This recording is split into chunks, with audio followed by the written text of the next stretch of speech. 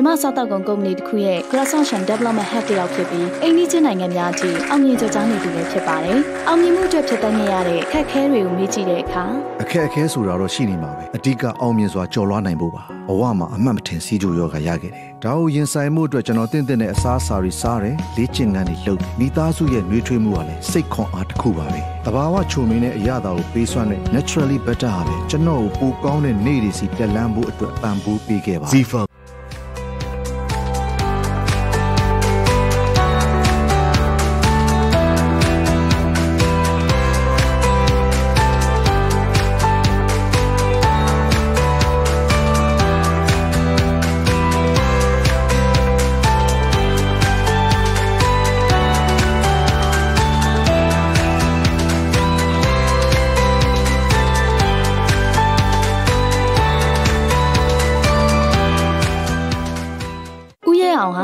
စားတောက်ကုန်ကုမ္ပဏီတစ်ခုရဲ့ Croissant Development Hub တယောက်ဖြစ်ပြီးအိန္ဒိချင်းနိုင်ငံများအထိအောင်မြင်ကြကြောင်းနေသူလည်းဖြစ်ပါတယ်။အောင်မြင်မှုအတွက်ဖြစ်တဲ့နေရတဲ့ခက်ခဲတွေကိုမေ့ကြည့်တဲ့အခါအခက်အခဲဆိုတာတော့ရှိနေမှာပဲ။အဓိကအောင်မြင်စွာကြော်လွှားနိုင်ဖို့ပါ။ဘဝမှာအမှတ်မထင်စီးကြိုရောဂါရခဲ့တယ်။ဒါကိုရင်ဆိုင်မှုအတွက်ကျွန်တော်တင့်တင့်နဲ့အစားအစာတွေစားတယ်၊လေ့ကျင့်ခန်းတွေလုပ်မိသားစုရဲ့နှွေးထွေးမှုကလည်းစိတ်ခွန်အားတစ်ခုပါပဲ။တဘာဝချုံမင်းတဲ့အရာတာကိုပေးစွမ်းတဲ့ naturally better ဟာပဲကျွန်တော်ကိုပိုကောင်းတဲ့နေ့တွေစီတက်လန်းဖို့အတွက်ပံ့ပိုးပေးခဲ့ပါ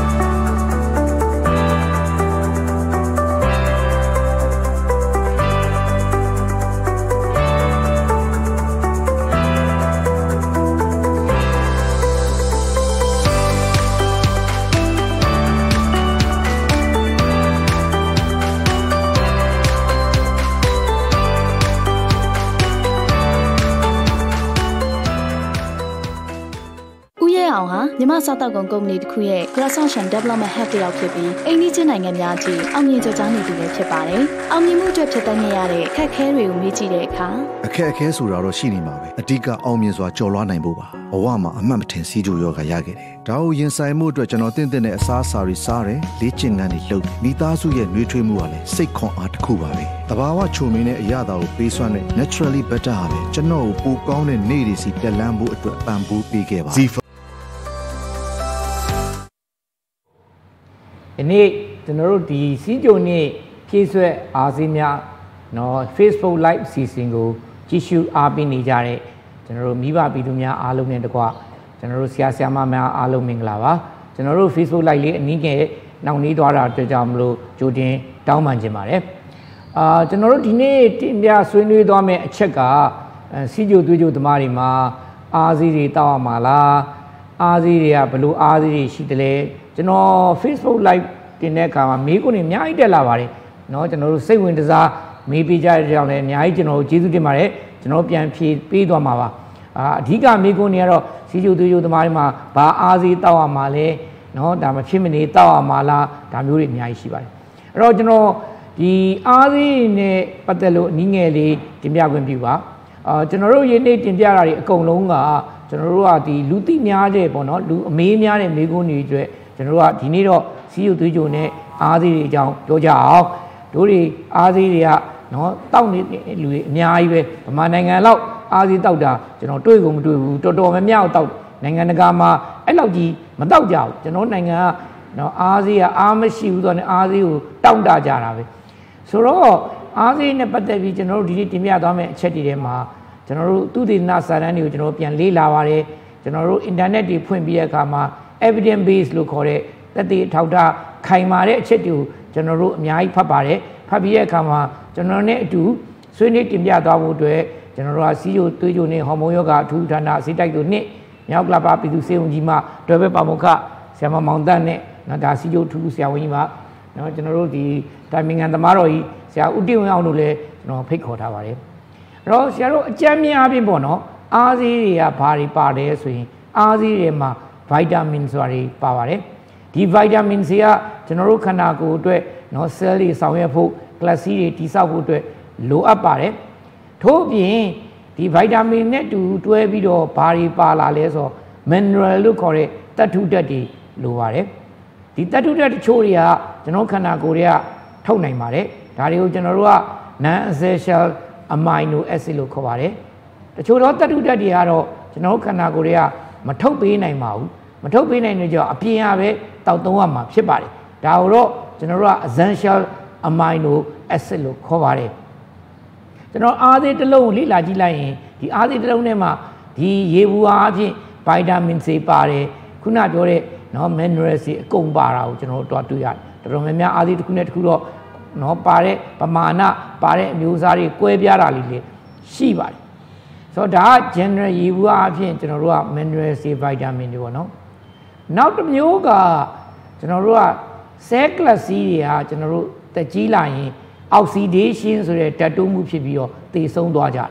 ဒါကြောင့်မို့ဒီဓာတ်တိုးတာကိုကာကွယ်တားဆီးဖို့ antioxidant ဆိုတာတွေကပေါ်လာတယ်ဓာတ်တိုးတာကိုခုခံမယ်တားဆီးမယ်ဒီလို antioxidant တွေပေးလိုက်ရင်တောက်လိုက်ရင်ကျွန်တော်တို့ဆဲတွေမပြည့်စည်တော့ဘူး အုံမင်းရောမှုတွေကိုတားဆီးနိုင်တယ်ဆိုပြီးတော့ antioxidant ဆိုပြီးတော့အားစေးတွေလည်းကျွန်တော်တို့အများကြီးကျွန်တော်တို့တွေ့ရပါတယ်အဲ့တော့ anti antioxidant တွေလည်းကျွန်တော်တို့နောက်ပိုင်းမှာတင်ပြသွားမှာဖြစ်ပါတယ်နောက်တစ်ပိုင်းကတော့ယောဂတစ်ခုချင်းတစ်ခုချင်းမှာလိုအပ်တာတွေအတွက်ကျွန်တော်တို့နော်ထည့်ပေးရတယ်ရှိပါတယ်ဥပမာဗိုက်တာမင် D နည်းနေတယ်ဗိုက်တာမင် D ဖြည့်ပြီးဖို့အတွက်ဗိုက်တာမင် D အားစီတက်တက်ရှိတယ် B12 နည်းနေတယ် B12 ကိုဖြည့်ဖို့အတွက် B12 အားစီတက်တက်ရှိတယ် ဒူးမကာဘူးဒူးသမားတွေတောင်းမယ်စီတက်တက်ရှိတယ်စီယိုသွေးကြိုသမားတွေမှာတချို့သောเนาะကျွန်တော်တို့တတ်ထုတက်တွေဟာစီကြိုသွေးကြိုကာကွယ်ထိန်းသိမ်းမှာအင်မတန်အားပေးတယ်ကောင်းတယ်သူတို့ကစီကြိုသမားတွေမှာနည်းနေတတ်တယ်အဲ့ဒါတွေကိုပြန်ဖြည့်ပေးလိုက်ရင်စီကြိုထိန်းသိမ်းမှုကောင်းသွားနိုင်တယ်ဆိုတော့သူနာစာတန်းတွေအများကြီးရှိပါတယ်ကျွန်တော်တို့ဒီနေ့ကဒီဟာနဲ့ပတ်သက်ပြီးစီးကြိုသွေးကြိုသမားတွေမှာဘလို့တတ်ထုတက်တွေနည်းနေသလဲဘလို့ဗိုက်တာမင်စီနည်းနေပါသလဲ အဲ့လိုနည်းနေရတွေကနဲ့စီးကြိုဖြစ်ပွားမှုနှုန်းသို့မဟုတ်စီးကြိုရဲ့နော်ထိမ့်သိမ့်မှုနှုန်းနဲ့သက်ဆိုင်နေပါသလားသက်ဆိုင်နေတယ်လို့ဆိုရင်ကျွန်တော်တို့ကဒါတွေကိုပြန်ဖြည့်ပေးလိုက်ရင်ရောစီးကြိုထိမ့်သိမ့်မှုကကောင်းပါလားကျွန်တော်တို့ဈေးကွက်ထဲမှာဒီလိုအပ်တဲ့ခုနပြောတဲ့တတုတက်တွေပါတဲ့အားသေးရောရှိပါသလားဒါဆိုရင်ဒီလိုအားသေးတွေတောက်ချင်းအပြင်စီယူသမားတွေစီယူထိန်းသိမ်းဖို့ကောင်းပါလားဒါတွေနဲ့ပတ်သက်ပြီးကျွန်တော်ဆွေးနွေးတင်ပြသွားမှာဖြစ်ပါတယ်အဲ့တော့ပထမဆုံးအနေနဲ့ကျွန်တော်တွဲဘက်ပါမောက်က ဆရာမမောင်တန်းကိုဖိတ်ခေါ်ချင်ပါတယ်ဆရာအနေနဲ့ကျွန်တော်တို့တင်ပြသွားပြီးပါကျွန်တော်တို့ဒီ nutritional supplement တွေပေါ့နော်အထူးသဖြင့်ကျွန်တော်စီးယူသမားတွေအတွက်ဒီနေ့ရည်ရွယ်ပါတယ်စီးယူသမားတွေမှာဘယ်လို nutritional supplement တွေလိုအပ်နေပါသလဲဒါတွေနဲ့ပတ်သက်လို့ဆရာတင်ပြပေးပါဦးခင်ဗျဟုတ်ကဲ့ဟုတ်ကဲ့ဆရာကြီးကုကိုအထူးပဲကျေးဇူးတင်ပါတယ်အဲ့တော့ဒီနေ့ကျွန်တော် nutritional supplement ဖြည့်ဆွက်အားစီးတွေအကြောင်းကိုတင်ပြမှာဖြစ်ပါတယ်ဆရာကြီးခုနအမိန့်ရှိခဲ့သလိုပဲဖြည့်ဆွက်အားစီးတွေမှာ vitamin လို့ခေါ်တဲ့သက်ဆောင်ဓာတ်တွေပါပါတယ် mineral သတ္တုဓာတ်တွေပါပါတယ်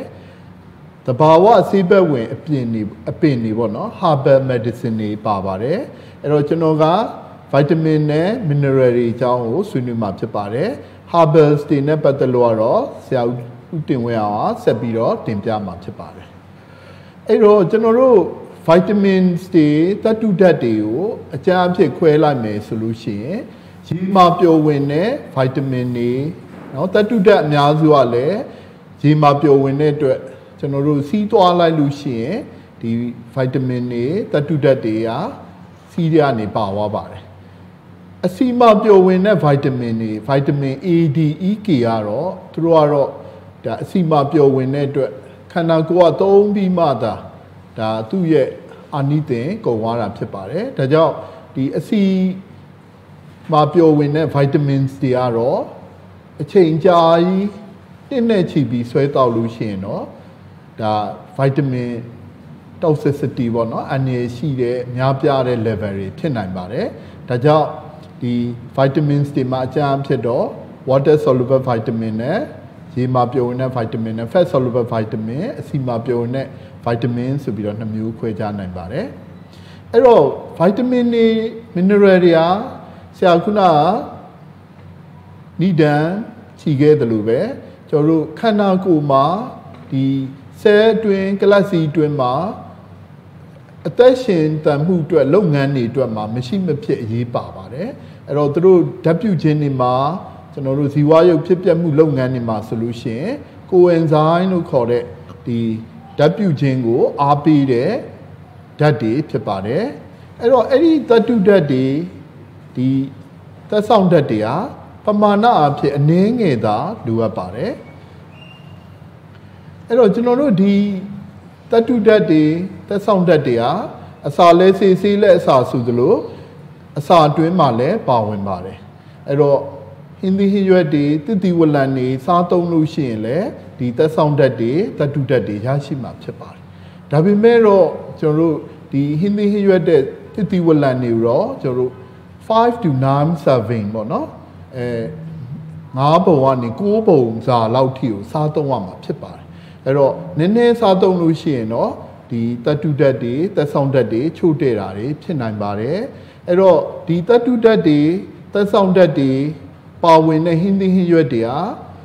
အမြင်ဓာတ်တွေလည်းပါဝင်ပါတယ်နောက်တစ်ခုကတော့ဒီဓာတ်တူခြင်းကိုဆန့်ကျင်တဲ့ antioxidant တွေလည်းပါဝင်ပါတယ်ဒါကြောင့်ဒီဓာတ်တွေဟာဆိုလို့ရှိရင်နော်ကင်ဆာကာကွယ်တာအတွက်လည်းအဲအထောက်အကူဖြစ်စေပါတယ်နောက်တစ်ခုကတော့လည်းဒီမျက်စိအမြင်အာရုံလည်းကောင်းစေပါတယ်ဒါကြောင့်ကျွန်တော်တို့အနေနဲ့ဒါဟင်းသီးဟင်းရွက်တွေတစ်တီဝလံတွေကိုစားသုံးဖို့ပေါ့နော် နောက်တစ်ခုကတော့လည်းဒီတက်ဆောင်ဓာတ်တွေတတုဓာတ်တွေပါဝင်တဲ့အစာအာဟာရတွေကိုနော်အမျိုးအမည်စုံစုံလင်လင်ရွေးချယ်စားတောင်းတတ်ဖို့လိုပါတယ်နော်အဲ့တော့ကိုကဒီအာဟာရပြည့်ဝတဲ့အစားအသောက်တွေကိုလေ့လာပြီးတော့เนาะအမြဲမပြတ်အာဟာရပြည့်စုံအောင်ကိုကเนาะအဲအစားအသောက်တွေကိုအမျိုးမျိုးစုံစုံလင်လင်စားတောက်ဖို့လိုပါတယ်အဲ့တော့တစ်ခါစား တပုံစားဆိုဘယ်လောက်လဲ1 serving ဆိုဘယ်လောက်လဲမအရွယ်လက်စားရှိတဲ့ပန်းသီးဆိုရင်တစ်လုံးငပြောသီးတစ်လုံးအဲဒီအရွယ်လက်စားရှိတဲ့အဲတရုတ်ပကံလုံးပေါ့နော်အဲအဲ့တလုံးစာလောက်စားရမှာဖြစ်ပါတယ်အဲ့တော့အသီးရွက်တွေဆိုလဲအဲဒီသုံးစွန်းပေါ့နော်အဲ့တော့သုံးစွန်းစာကိုတနေ့ကို9ချိန်ကနေ9 9ပုံစာ9ပုံစာကနေ9ပုံစာလောက်စားတော့အောင်ဖြစ်ပါတယ်အဲ့တော့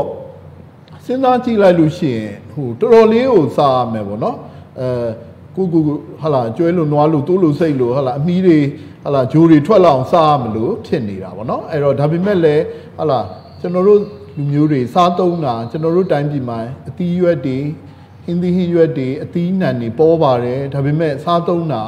ကျွန်တော်တို့အဲပမာဏနည်းနေတာကိုတွေ့ရပါတယ် ဒါကြောင့်ကျွန်တော်တို့အနေနဲ့ဗိုက်တာမင်ဓာတ်တွေသတ္တုဓာတ်တွေပေါ်များတဲ့အသီးရွက်တွေအသီးနှံတွေဒါတွေကိုများများစားသုံးအောင်ဖြစ်ပါတယ်ဒါပေမဲ့တစ်ဖက်ကအခက်ခဲဖြစ်တာစီးကြိုသမားမှာသွေးကြိုမထိန်နိုင်ဘူးဆိုလို့ရှိရင်ကျွန်တော်တို့ကဒီအသီးနှံတွေပေါ့နော်ဟာလာချိုတဲ့အသီးနှံတွေကိုလျှော့စားသုံးရမယ်ဆိုလို့ရှိရင်เนาะဗိုက်တာမင်ဓာတ်တွေသတ္တုဓာတ်တွေအားနည်းတာတွေဖြစ်လာနိုင်ပါတယ်ဒါကြောင့်ဒီဗိုက်တာမင်ဓာတ်တွေသတ္တုဓာတ်တွေဟာเนาะ စီးကျိုသမားတွေမှာတောက်သုံးမှုလူလားဒါလေးကိုကျွန်တော်ဆွေးနွေးရမှာဖြစ်ပါတယ်အဲ့တော့ဒီဗိုက်တာမင်တွေနဲ့သတ္တုဓာတ်တွေအားဆိုလို့ရှိရင်ခုနဆရာကြီးမိန့်ရှိသလိုပါပဲအောက်ဆီဒေးရှင်းပေါ့နော်ဆဲလ်တွေဓာတ်တိုးပြီးတော့နော်ဒီဆဲလ်တွေကလတ်စီးတွေနော်အိုမင်းရင်ရော်တာတွေပျက်စီးတာတွေကိုသူတို့ကကာကွယ်ပေးပါတယ်အဲ့တော့စီးကျိုသမားတွေမှာလည်းဒီဓာတ်တိုးတဲ့ဓာတ် ယောဂဖြစ်စဉ်ရဓာတ်တိုးတဲ့ဓာတ်ခံရတဲ့အတွက် cell တွေကလတ်စီးတွေပြက်စီးတာပို့ပြီးတော့တမန်လူထက်ဆိုင်အိုမင်းချင်းရော်တာတွေပြက်စီးသေကြတာတွေများပါတယ်ဒါကြောင့်ဒီဗိုက်တာမင်တွေတတ္တုဓာတ်တွေဟာချို့တဲ့တဲ့လူတွေမှာပြီးလို့ရှိရင်เนาะဒါခန္ဓာကိုယ်ရဲ့ cell တွေเนาะကလပ်စီတွေလုပ်ငန်းမှာအထောက်အကူပေးပါတယ်ဒီအပြင်စီးကြိုယောဂမှာဆိုရင်ကျွန်တော်တို့ဒီ insulin ထုတ်လုပ်တယ်ပေါ့ ဒီဒီ pancreas ကနေ insulin ထုတ်လုပ်ဖို့အတွက်လည်းဒီတတ္တုဓာတ်တွေအကူအညီပေးပါတယ်နောက်တစ်ခုက insulin hormone ကဒီ cell တွေထဲမှာ tissue တွေထဲမှာကောင်းကောင်းအလုပ်လုပ်နိုင်ဖို့အတွက်လည်းဒီဗီတာမင်ဓာတ်တွေအားကူညီပေးပါတယ်ခုနကပြောသလိုဓာတ်တိုးခြင်းကြောင့်ဒီမျက်စိထိခိုက်တယ်ကြောက်ကပ်ပျက်စီးတယ်အာရုံကြောတွေပျက်စီးတယ်ဒီဖြစ်စဉ်တွေမှာလည်းနော်လိုအပ်တဲ့လူတွေမှာဗိုက်တာမင်တွေမင်းနရယ်တွေပေးခြင်းအဖြစ်နော်ဒီ စီးကြိုရဲ့နောက်ဆက်တွဲယောဂါတွေကိုတက်တာနိုင်စေပါတယ်အဲ့တော့ dietary supplement တွေမှာဒါဆေးဘက်ဝင်အပင်တွေပါပါတယ်အဲဒီကြောင့်တော့ဆရာဦးတင်ဝင်းအောင်ဆွေးနွေးမှာဖြစ်ပါတယ်အဲ့တော့အများသိကြတဲ့အတိုင်းပါပဲကျွန်တော်တို့အဲ antioxidant vitamin E ပါပါတယ်ခရိုမီယမ်အဲခရိုမီယမ်လည်းသူကနော်စွမ်းအင်ထုတ်လုပ်တဲ့လုပ်ငန်းတွေမှာကူညီပေးပါတယ်အဲ selenium antioxidant folic acid เนาะ folic acid ဆိုတာလဲကျွန်တော်တို့เนาะအာယုံကြောတွေသွေးနီဦးတွေเนาะဒါတွေကိုသူကဟာလာဖြစ်ပေါ်ထိမ့်သိမ့်တဲ့နေရာမှာကူညီပေးပါတယ်ဗိုက်တာမင် C antioxidant ပါသူကလည်းခန္ဓာကိုယ်ရဲ့ကိုယ်ခံအားစနစ်ကိုအဲသူကအားပေးပါတယ်ကောင်းမွန်စေပါတယ်เนาะ alpha lipoic acid လို့ခေါ်တဲ့ antioxidant เนาะ vanadium ဒီသတ္တုတွေအကြောင်းကိုเนาะကျွန်တော်ဆွေးနွေးမှာဖြစ်ပါတယ်အဲ့ ယ် တော့ကျွန်တော်တို့ပထမဆုံး vitamin E ပေါ့နော် vitamin E က antioxidant ဖြစ်တဲ့အတွက်เนาะကျွန်တော်တို့ cell တွေ tissue တွေကိုအိုမင်းရင်းရောပျက်စီးတည်ဆုံးခြင်းကိုကာကွယ်ပေးပါတယ်အဲ့တော့ vitamin E ကเนาะကျွန်တော်တို့ရင်တော့ကတော့နှလုံးရောဂါကိုကာကွယ်ပေးတယ်လို့ပြောပေမဲ့လည်း study တွေကိုကြည့်လိုက်တဲ့အခါမှာเนาะတိတိတတ်တာထိရောက်စွာကာကွယ်ပေးနိုင်ခြင်းမရှိပါဘူးဒါပေမဲ့တော့เนาะ vitamin E ကเนาะစီးကြိုအတွက်ကောเนาะအဲ စီးကြိုရောကြစီလားဆိုတော့เนาะ study တော်တော်များများမှာကြည့်လိုက်တဲ့အခါမှာတော့เนาะ hemoglobin A1C လို့ခေါ်တဲ့3လသွေးကြိုပြန်းမြသွေးကြိုကိုတိတာထိရောက်စွာကျဆင်းနိုင်ခြင်းမရှိပါဘူးဒါပေမဲ့လည်း vitamin E ကကျွန်တော်တို့ဒီအသေးစီဖုံယောဂါတွေပေါ့နော် NAFLD NASH လို့ခေါ်တဲ့အသေးစီဖုံယောဂါကုသရေးမှာเนาะသက်သာစေတာကိုတွေ့ရှိပါတယ် ် အဲ့တော့တခြား vitamin တွေရောဒီစီးချိုမှာဘယ်လိုအရေးပါလဲကျွန်တော်တို့ C-vit လို့ပြောနေတဲ့ vitamin D ပေါ့နော်အဲ့တော့သူတို့သုတေသနတွေးရှိချက်တွေကတော့အဲသူတို့1000 gram ပေါ့နော်တစ်နေ့ကို1000 1500 gram လောက်တောက်ရပါတယ်အဲ့တော့အဲ့လိုနော်6လလောက်တောက်လိုက်တဲ့ခါမှာနော်အဲသွေးအတွင်းမှာရှိတဲ့ fasting blood glucose ပေါ့နော်အစာမစားမီသွေးကြိုနော် A1C ကိုလည်း အဲကြစရာတွေ့ရပါတယ်နော်သွေးတွင်းကိုလက်စထရောကိုလည်းကြစေတာကိုတွေ့ရပါတယ်ဒါပေမဲ့တော့ဒီဗီတာမင် C ကတနေ့ကို1000 1500ဂရမ်လောက်တောက်မယ်ဆိုလို့ရှိရင်တော့နော်ကြောက်ကက်ကြောက်ရှိတဲ့လူတွေဆိုလို့ရှိရင်တော့ဒါစီးကြောက်တယ်ဖို့နော်အန်ရည်ရှိတာကိုဒါသတိချက်စီကြပါတယ်အဲ့တော့ဗီတာမင် K ကျွန်တော်တို့သွေးတိတ်ဖို့ပေးတဲ့ဗီတာမင် K ကိုလည်း နော်လိလာကြည့်လိုက်တဲ့ခါမှာ၃နှစ်လောက်တောက်လိုက်တဲ့ခါမှာနော်အသက်ကြီးတဲ့အဖိုးတွေမှာဆိုလို့ရှိရင်နော်ဒါဒီစီးကျိုဖြစ်နိုင်ခြေပေါ့နော်ဒါစီးကျိုဖြစ်နိုင်ခြေကိုသူတို့ကရှော့ချပေးတာကိုတွေ့ရပါတယ်ဒါပေမဲ့အသက်ကြီးတဲ့အမျိုးသမီးတွေမှာတော့ဒါဒီ effect ပေါ့နော်ဒီအကျိုးသက်ရောက်မှုတော့မရှိတာတွေ့ရပါတယ်နောက် vitamin A ကလည်းနော်ခုနမျက်စိကိုကောင်းစေတဲ့ပြင်နော်သူ့ကိုရေရှည်ပေးလို့ရှိရင်တော့နော် အင်ဆူလင်အလုပ်လုပ်ဖို့အားပေးတာကိုတွေ့ရပါတယ်အဲ့တော့ selenium ဆိုတဲ့ antioxidant ကတော့ထူးခြားတာကတော့သူက selenium ကိုစီးကြိုသမားတွေကိုနော်ရေရှည်ပေးတဲ့အခါမှာသူကစီးကြိုမကာခွေနိုင်တဲ့အပြင်စီးကြိုဖြစ်ပွားမှုကိုပုံမှုများပြားစေတဲ့အတွက်မလိုအပ်ပဲနဲ့ဒါစီးကြိုသမားတွေမှာစလီနီယန်ကိုရေရှည်တောက်သုံးမှုမသင့်ပါဘူးဘာဖြစ်လို့ဆိုတော့ဒီစလီနီယန်က study တွေမှာကြည့်လိုက်တဲ့အခါမှာเนาะဒါစီးကြိုမကာကွယ်နိုင်တဲ့ပြင်စီးကြိုဖြစ်ပွားတာတော့เนาะပူဆိုးစေတယ်ဆိုပြီးတော့ study တွေမှာတွေ့ရတဲ့အတွက်เนาะမလိုအပ်ပဲနဲ့เนาะကျွန်တော်တို့ antioxidant ဆိုပြီး selenium တွေကိုနှိမ့်နေချပြီးတောက်သုံးတာတွေကိုကျွန်တော်တို့ဒါရှောင်ကျဉ်သင့်ပါတယ်အဲ inositol ပါတဲ့အားဆေးလေးတွေကတော့သူက insulin ခုခံအားပေါ့နော် insulin အလုပ်လုပ်တာကိုသူတို့ကကောင်းမွန်စေပါတယ် အဲသူကစိတ်ဝင်စားစရာကောင်းတာတော့ innovator တွေကိုကျွန်တော်တို့အဲကိုဝန်ဆောင်စီးကျိုးရှိတဲ့လူတွေကိုကျွန်တော်တို့ဟာလာအငြင်းများတဲ့ကိုဝန်ဆောင်စီးကျိုးဖြစ်နိုင်ခြင်းရှိတဲ့အမျိုးသမီးတွေကိုပေးကြည့်တဲ့အခါမှာနော်အဲသူတို့ကဒါဟာလာ safe လည်းဖြစ်ပါတယ်နောက် insulin ပါလိုအပ်မှုနည်းတယ်နော်နောက်ဒီကိုဝန်ဆောင်စီးကျိုးပမာဏကိုလည်းတက်တာစီတာကိုတွေ့ရပါတယ်အဲ့တော့ biotin ဆိုတဲ့ဆေးကလည်း နော်ဒီ glucose စွမ်းအင်ထုတ်လုပ်မှုလုပ်ငန်းတွေကိုလည်းကောင်းမွန်စေပါတယ်အာယုံကျော်လုပ်ငန်းတွေမှာလည်းသူကကောင်းမွန်တဲ့ result တွေကိုရပါတယ်ဒါပေမဲ့ study တွေမှာတော့ biotin က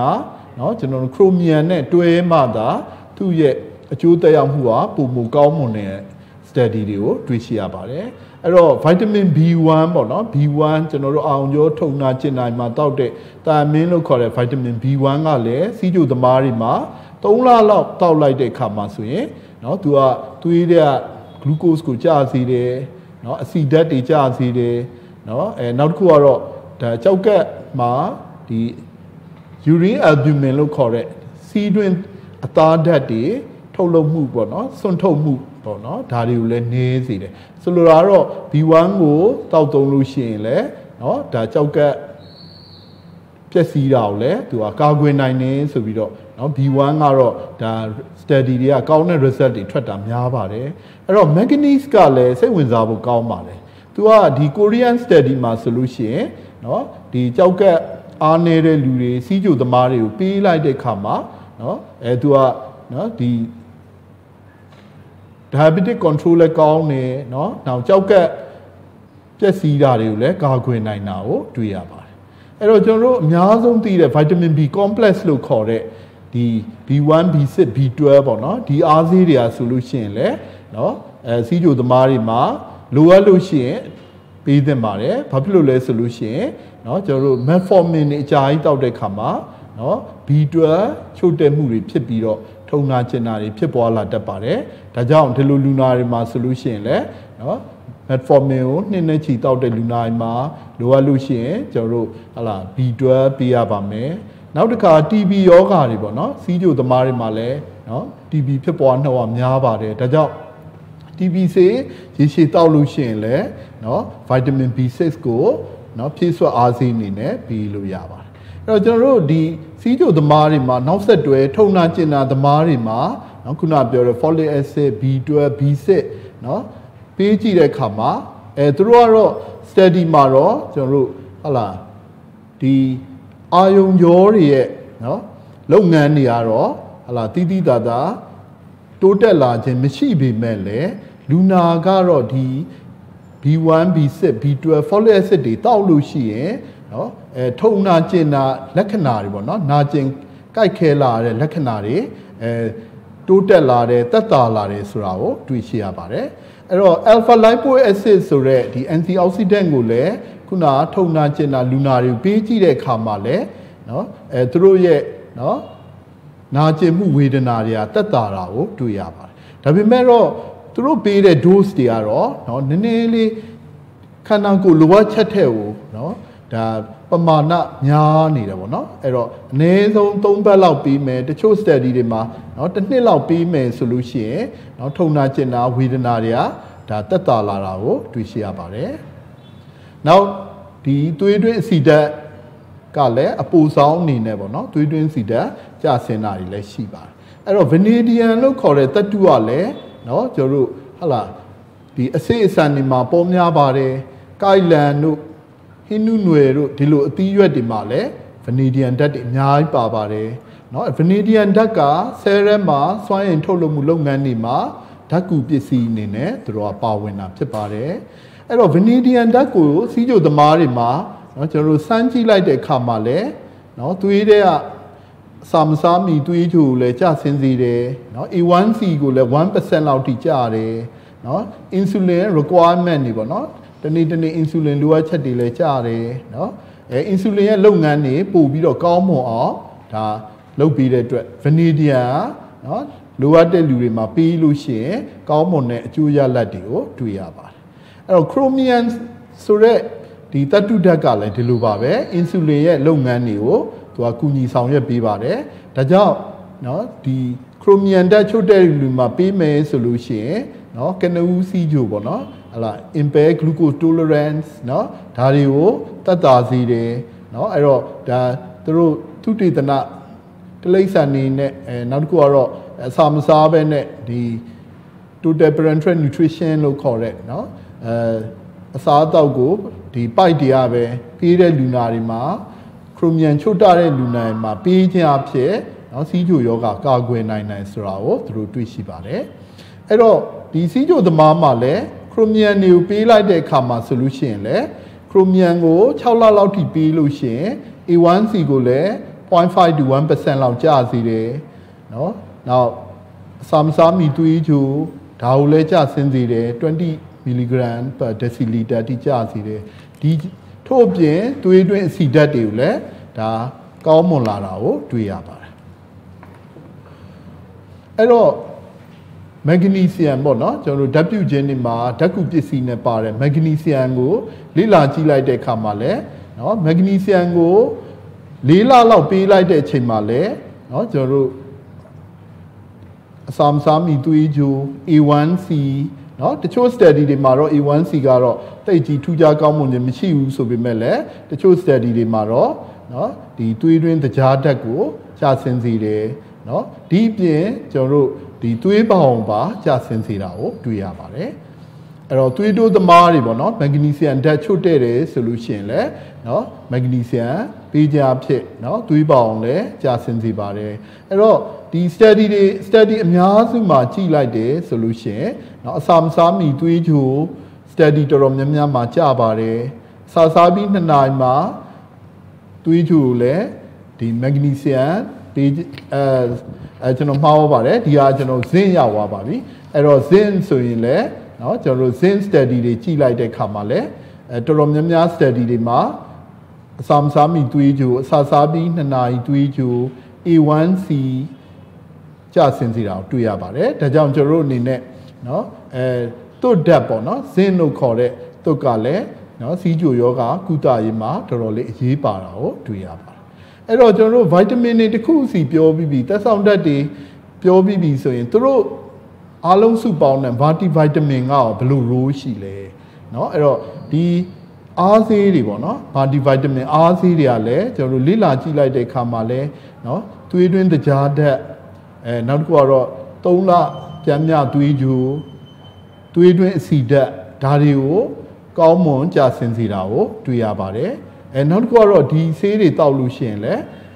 ခုခံအားတက်လာတယ်ပေါ့နော် infection ဒဏ်တွေကိုကာကွယ်ပြီးပါတယ်ဒါကြောင့်အခုလို covid လို့ယောဂါတွေဖြစ်ပွားနေတဲ့ချိန်မှာလဲခုခံအားကောင်းမှုအတွက်နော်အခုလိုချိန်မှာဆိုလို့ရှိရင်လိုအပ်လို့ရှိရင်ဒီ multivitamin တွေတောက်သုံးသင့်ပါတယ်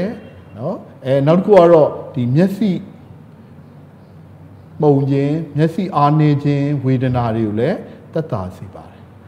အဲ့တော့ဒီခုနက study တွေကိုပြပြီးတဲ့အချိန်မှာတော့เนาะပြည်သူလူထုကတော့ဟာခါရ vitamin တွေကိုเนาะလာနဲ့နှစ်နဲ့ချိပြီးရမ်းတောက်သုံးခြင်းစိတ်တွေเนาะပေါ်ပေါက်လာပြီမဲ့ဒါကျွန်တော်တို့ပညာရှိသတိဖြစ်ခဲ့ဆိုတဲ့အတိုင်း guideline เนี่ยကျွန်တော်တို့ဘယ်လိုပြောလဲเนาะအဲ့တော့နိုင်ငံတကာအ ဖွဲ့စည်းတွေကတော့နော်ဒီဗိုက်တာမင်တွေသတ္တုဓာတ်တွေတော့နှစ်နဲ့ချီပြီးတောက်ဖို့တော့အားမပေးပါဘူး။ဘာဖြစ်လို့လဲဆိုရင်ခုနကျွန်တော်ပြောခဲ့တဲ့ study တွေအားဆိုလို့ရှိရင်ခန္ဓာကိုယ်လိုအပ်ချက်တဲ့သူတို့သုံးထားတဲ့ပမာဏပေါ့နော်ဈေးပမာဏခန္ဓာကိုယ်လိုအပ်ချက်တနေ့တာလိုအပ်ချက်တဲ့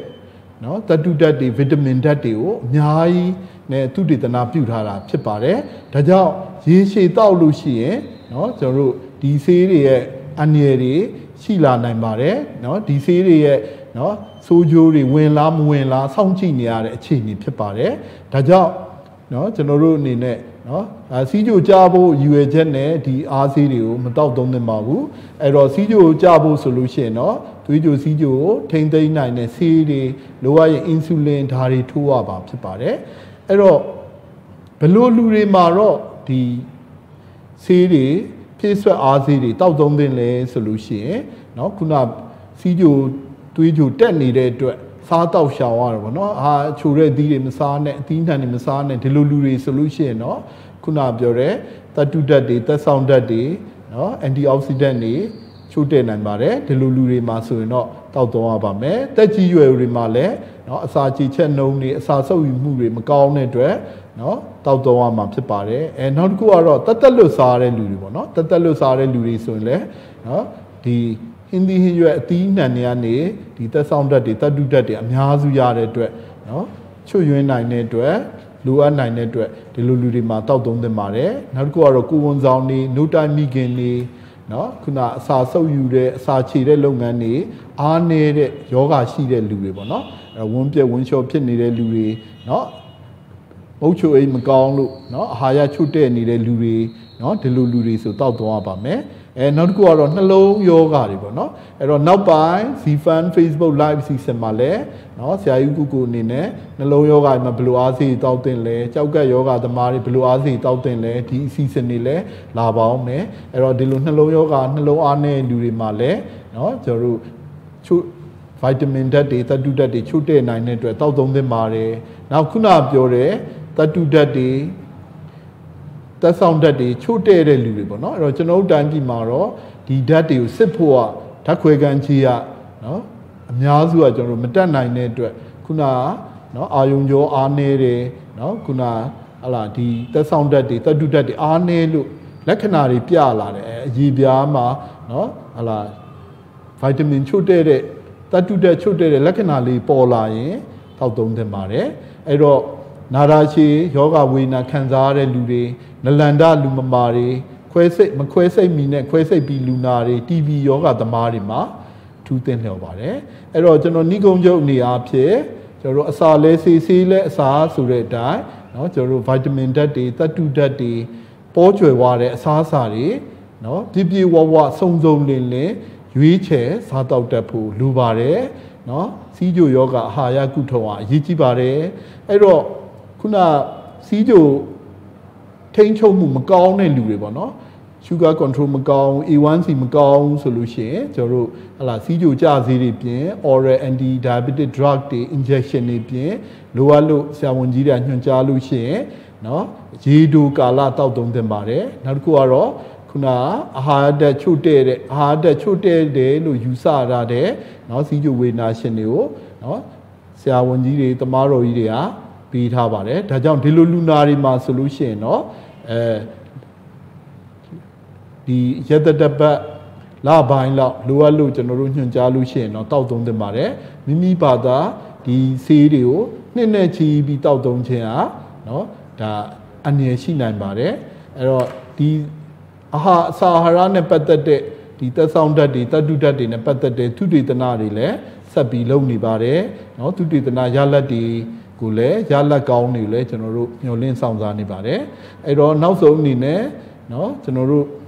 နော်အာမြတ်ဗုဒ္ဓသာသနာမှာလည်းမြတ်စွာဘုရားစွန့်သင်္ကန်းကြောင်းစီပေါ့နော်စီရလည်းနော်ဒါ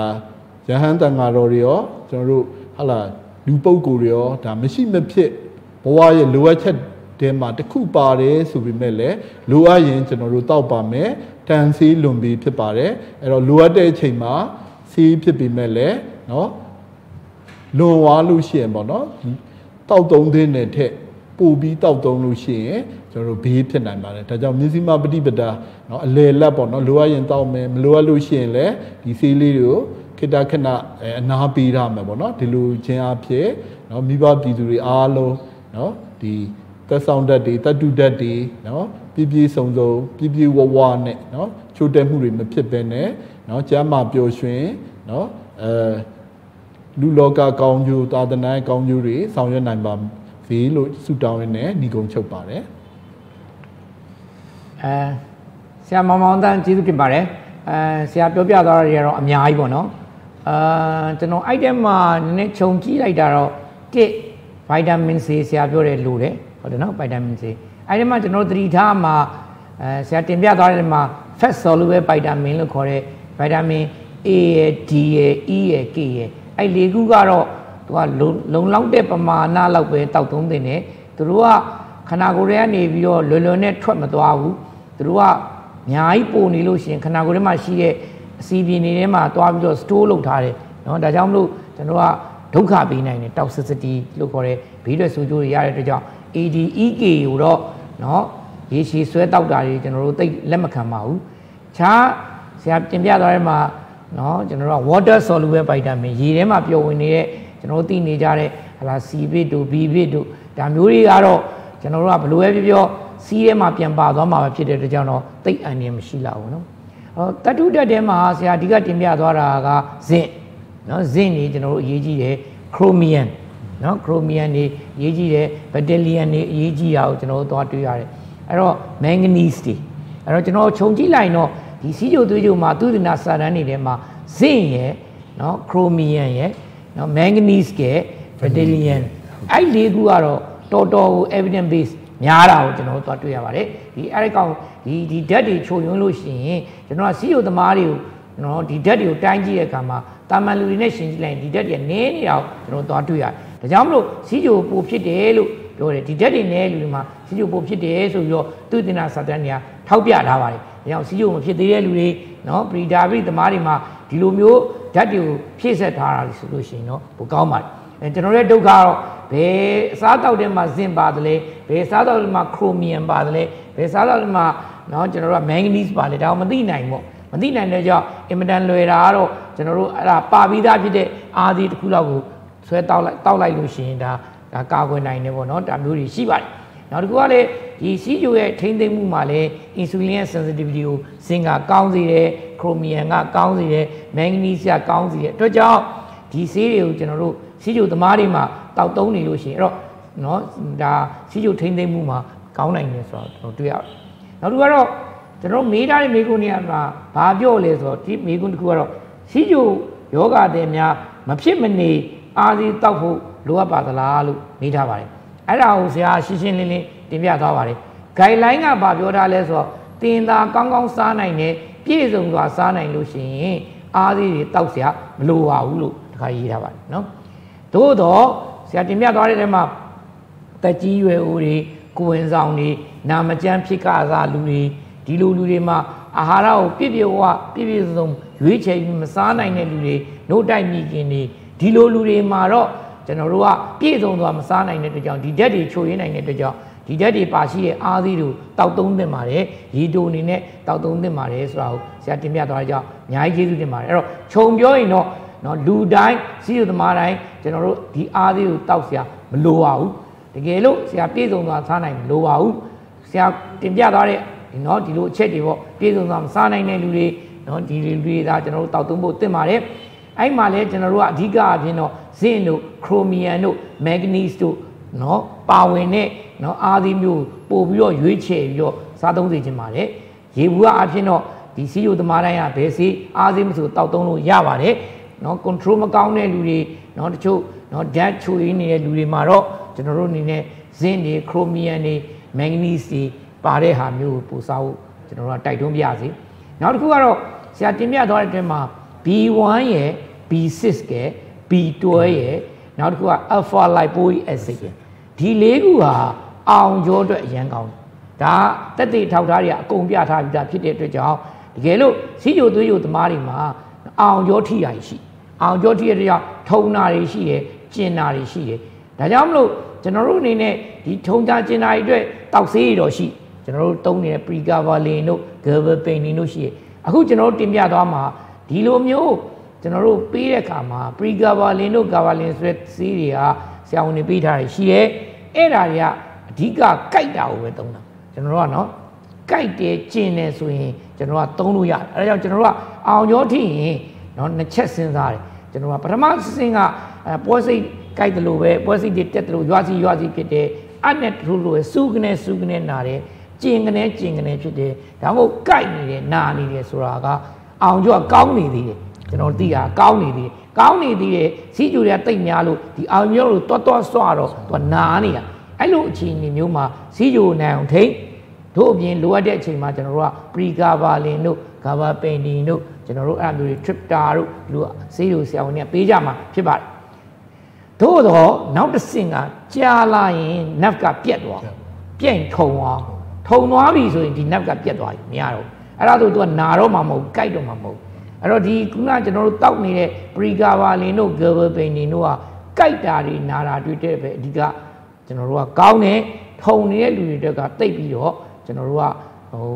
တိတ်ပြီးကျွန်တော်တို့တက်တာမှုရမှာမဟုတ်ဆိုတော့ဒီထုံသွားရင်နော်ကျွန်တော်တို့ကနတ်ကပြက်သွားပြီလို့ကျွန်တော်ယူဆတယ်အဲ့တော့နတ်တစ်ချောင်းအစ်စ်ပြန်ထွက်ဖို့ကအနည်းဆုံး3လကြာလူကြီးတွေမှာ6လလောက်ကြာအဲ့တော့ဒါကြောင့်မို့ကျွန်တော်ကတခါလေလူနာတွေကုရင်တခါလေပြောလိုက်တယ် ခမားခြေထောက်ထုံနေပြီဆိုရင်ကျွန်တော်တို့အ ਨੇ ဆုံးတော့3လတော့ကုဖို့လိုလိမ့်မယ်ဒါကတော့နပ်ကတော့ပြက်သွားပြီအသစ်ပြန်ထွက်ရ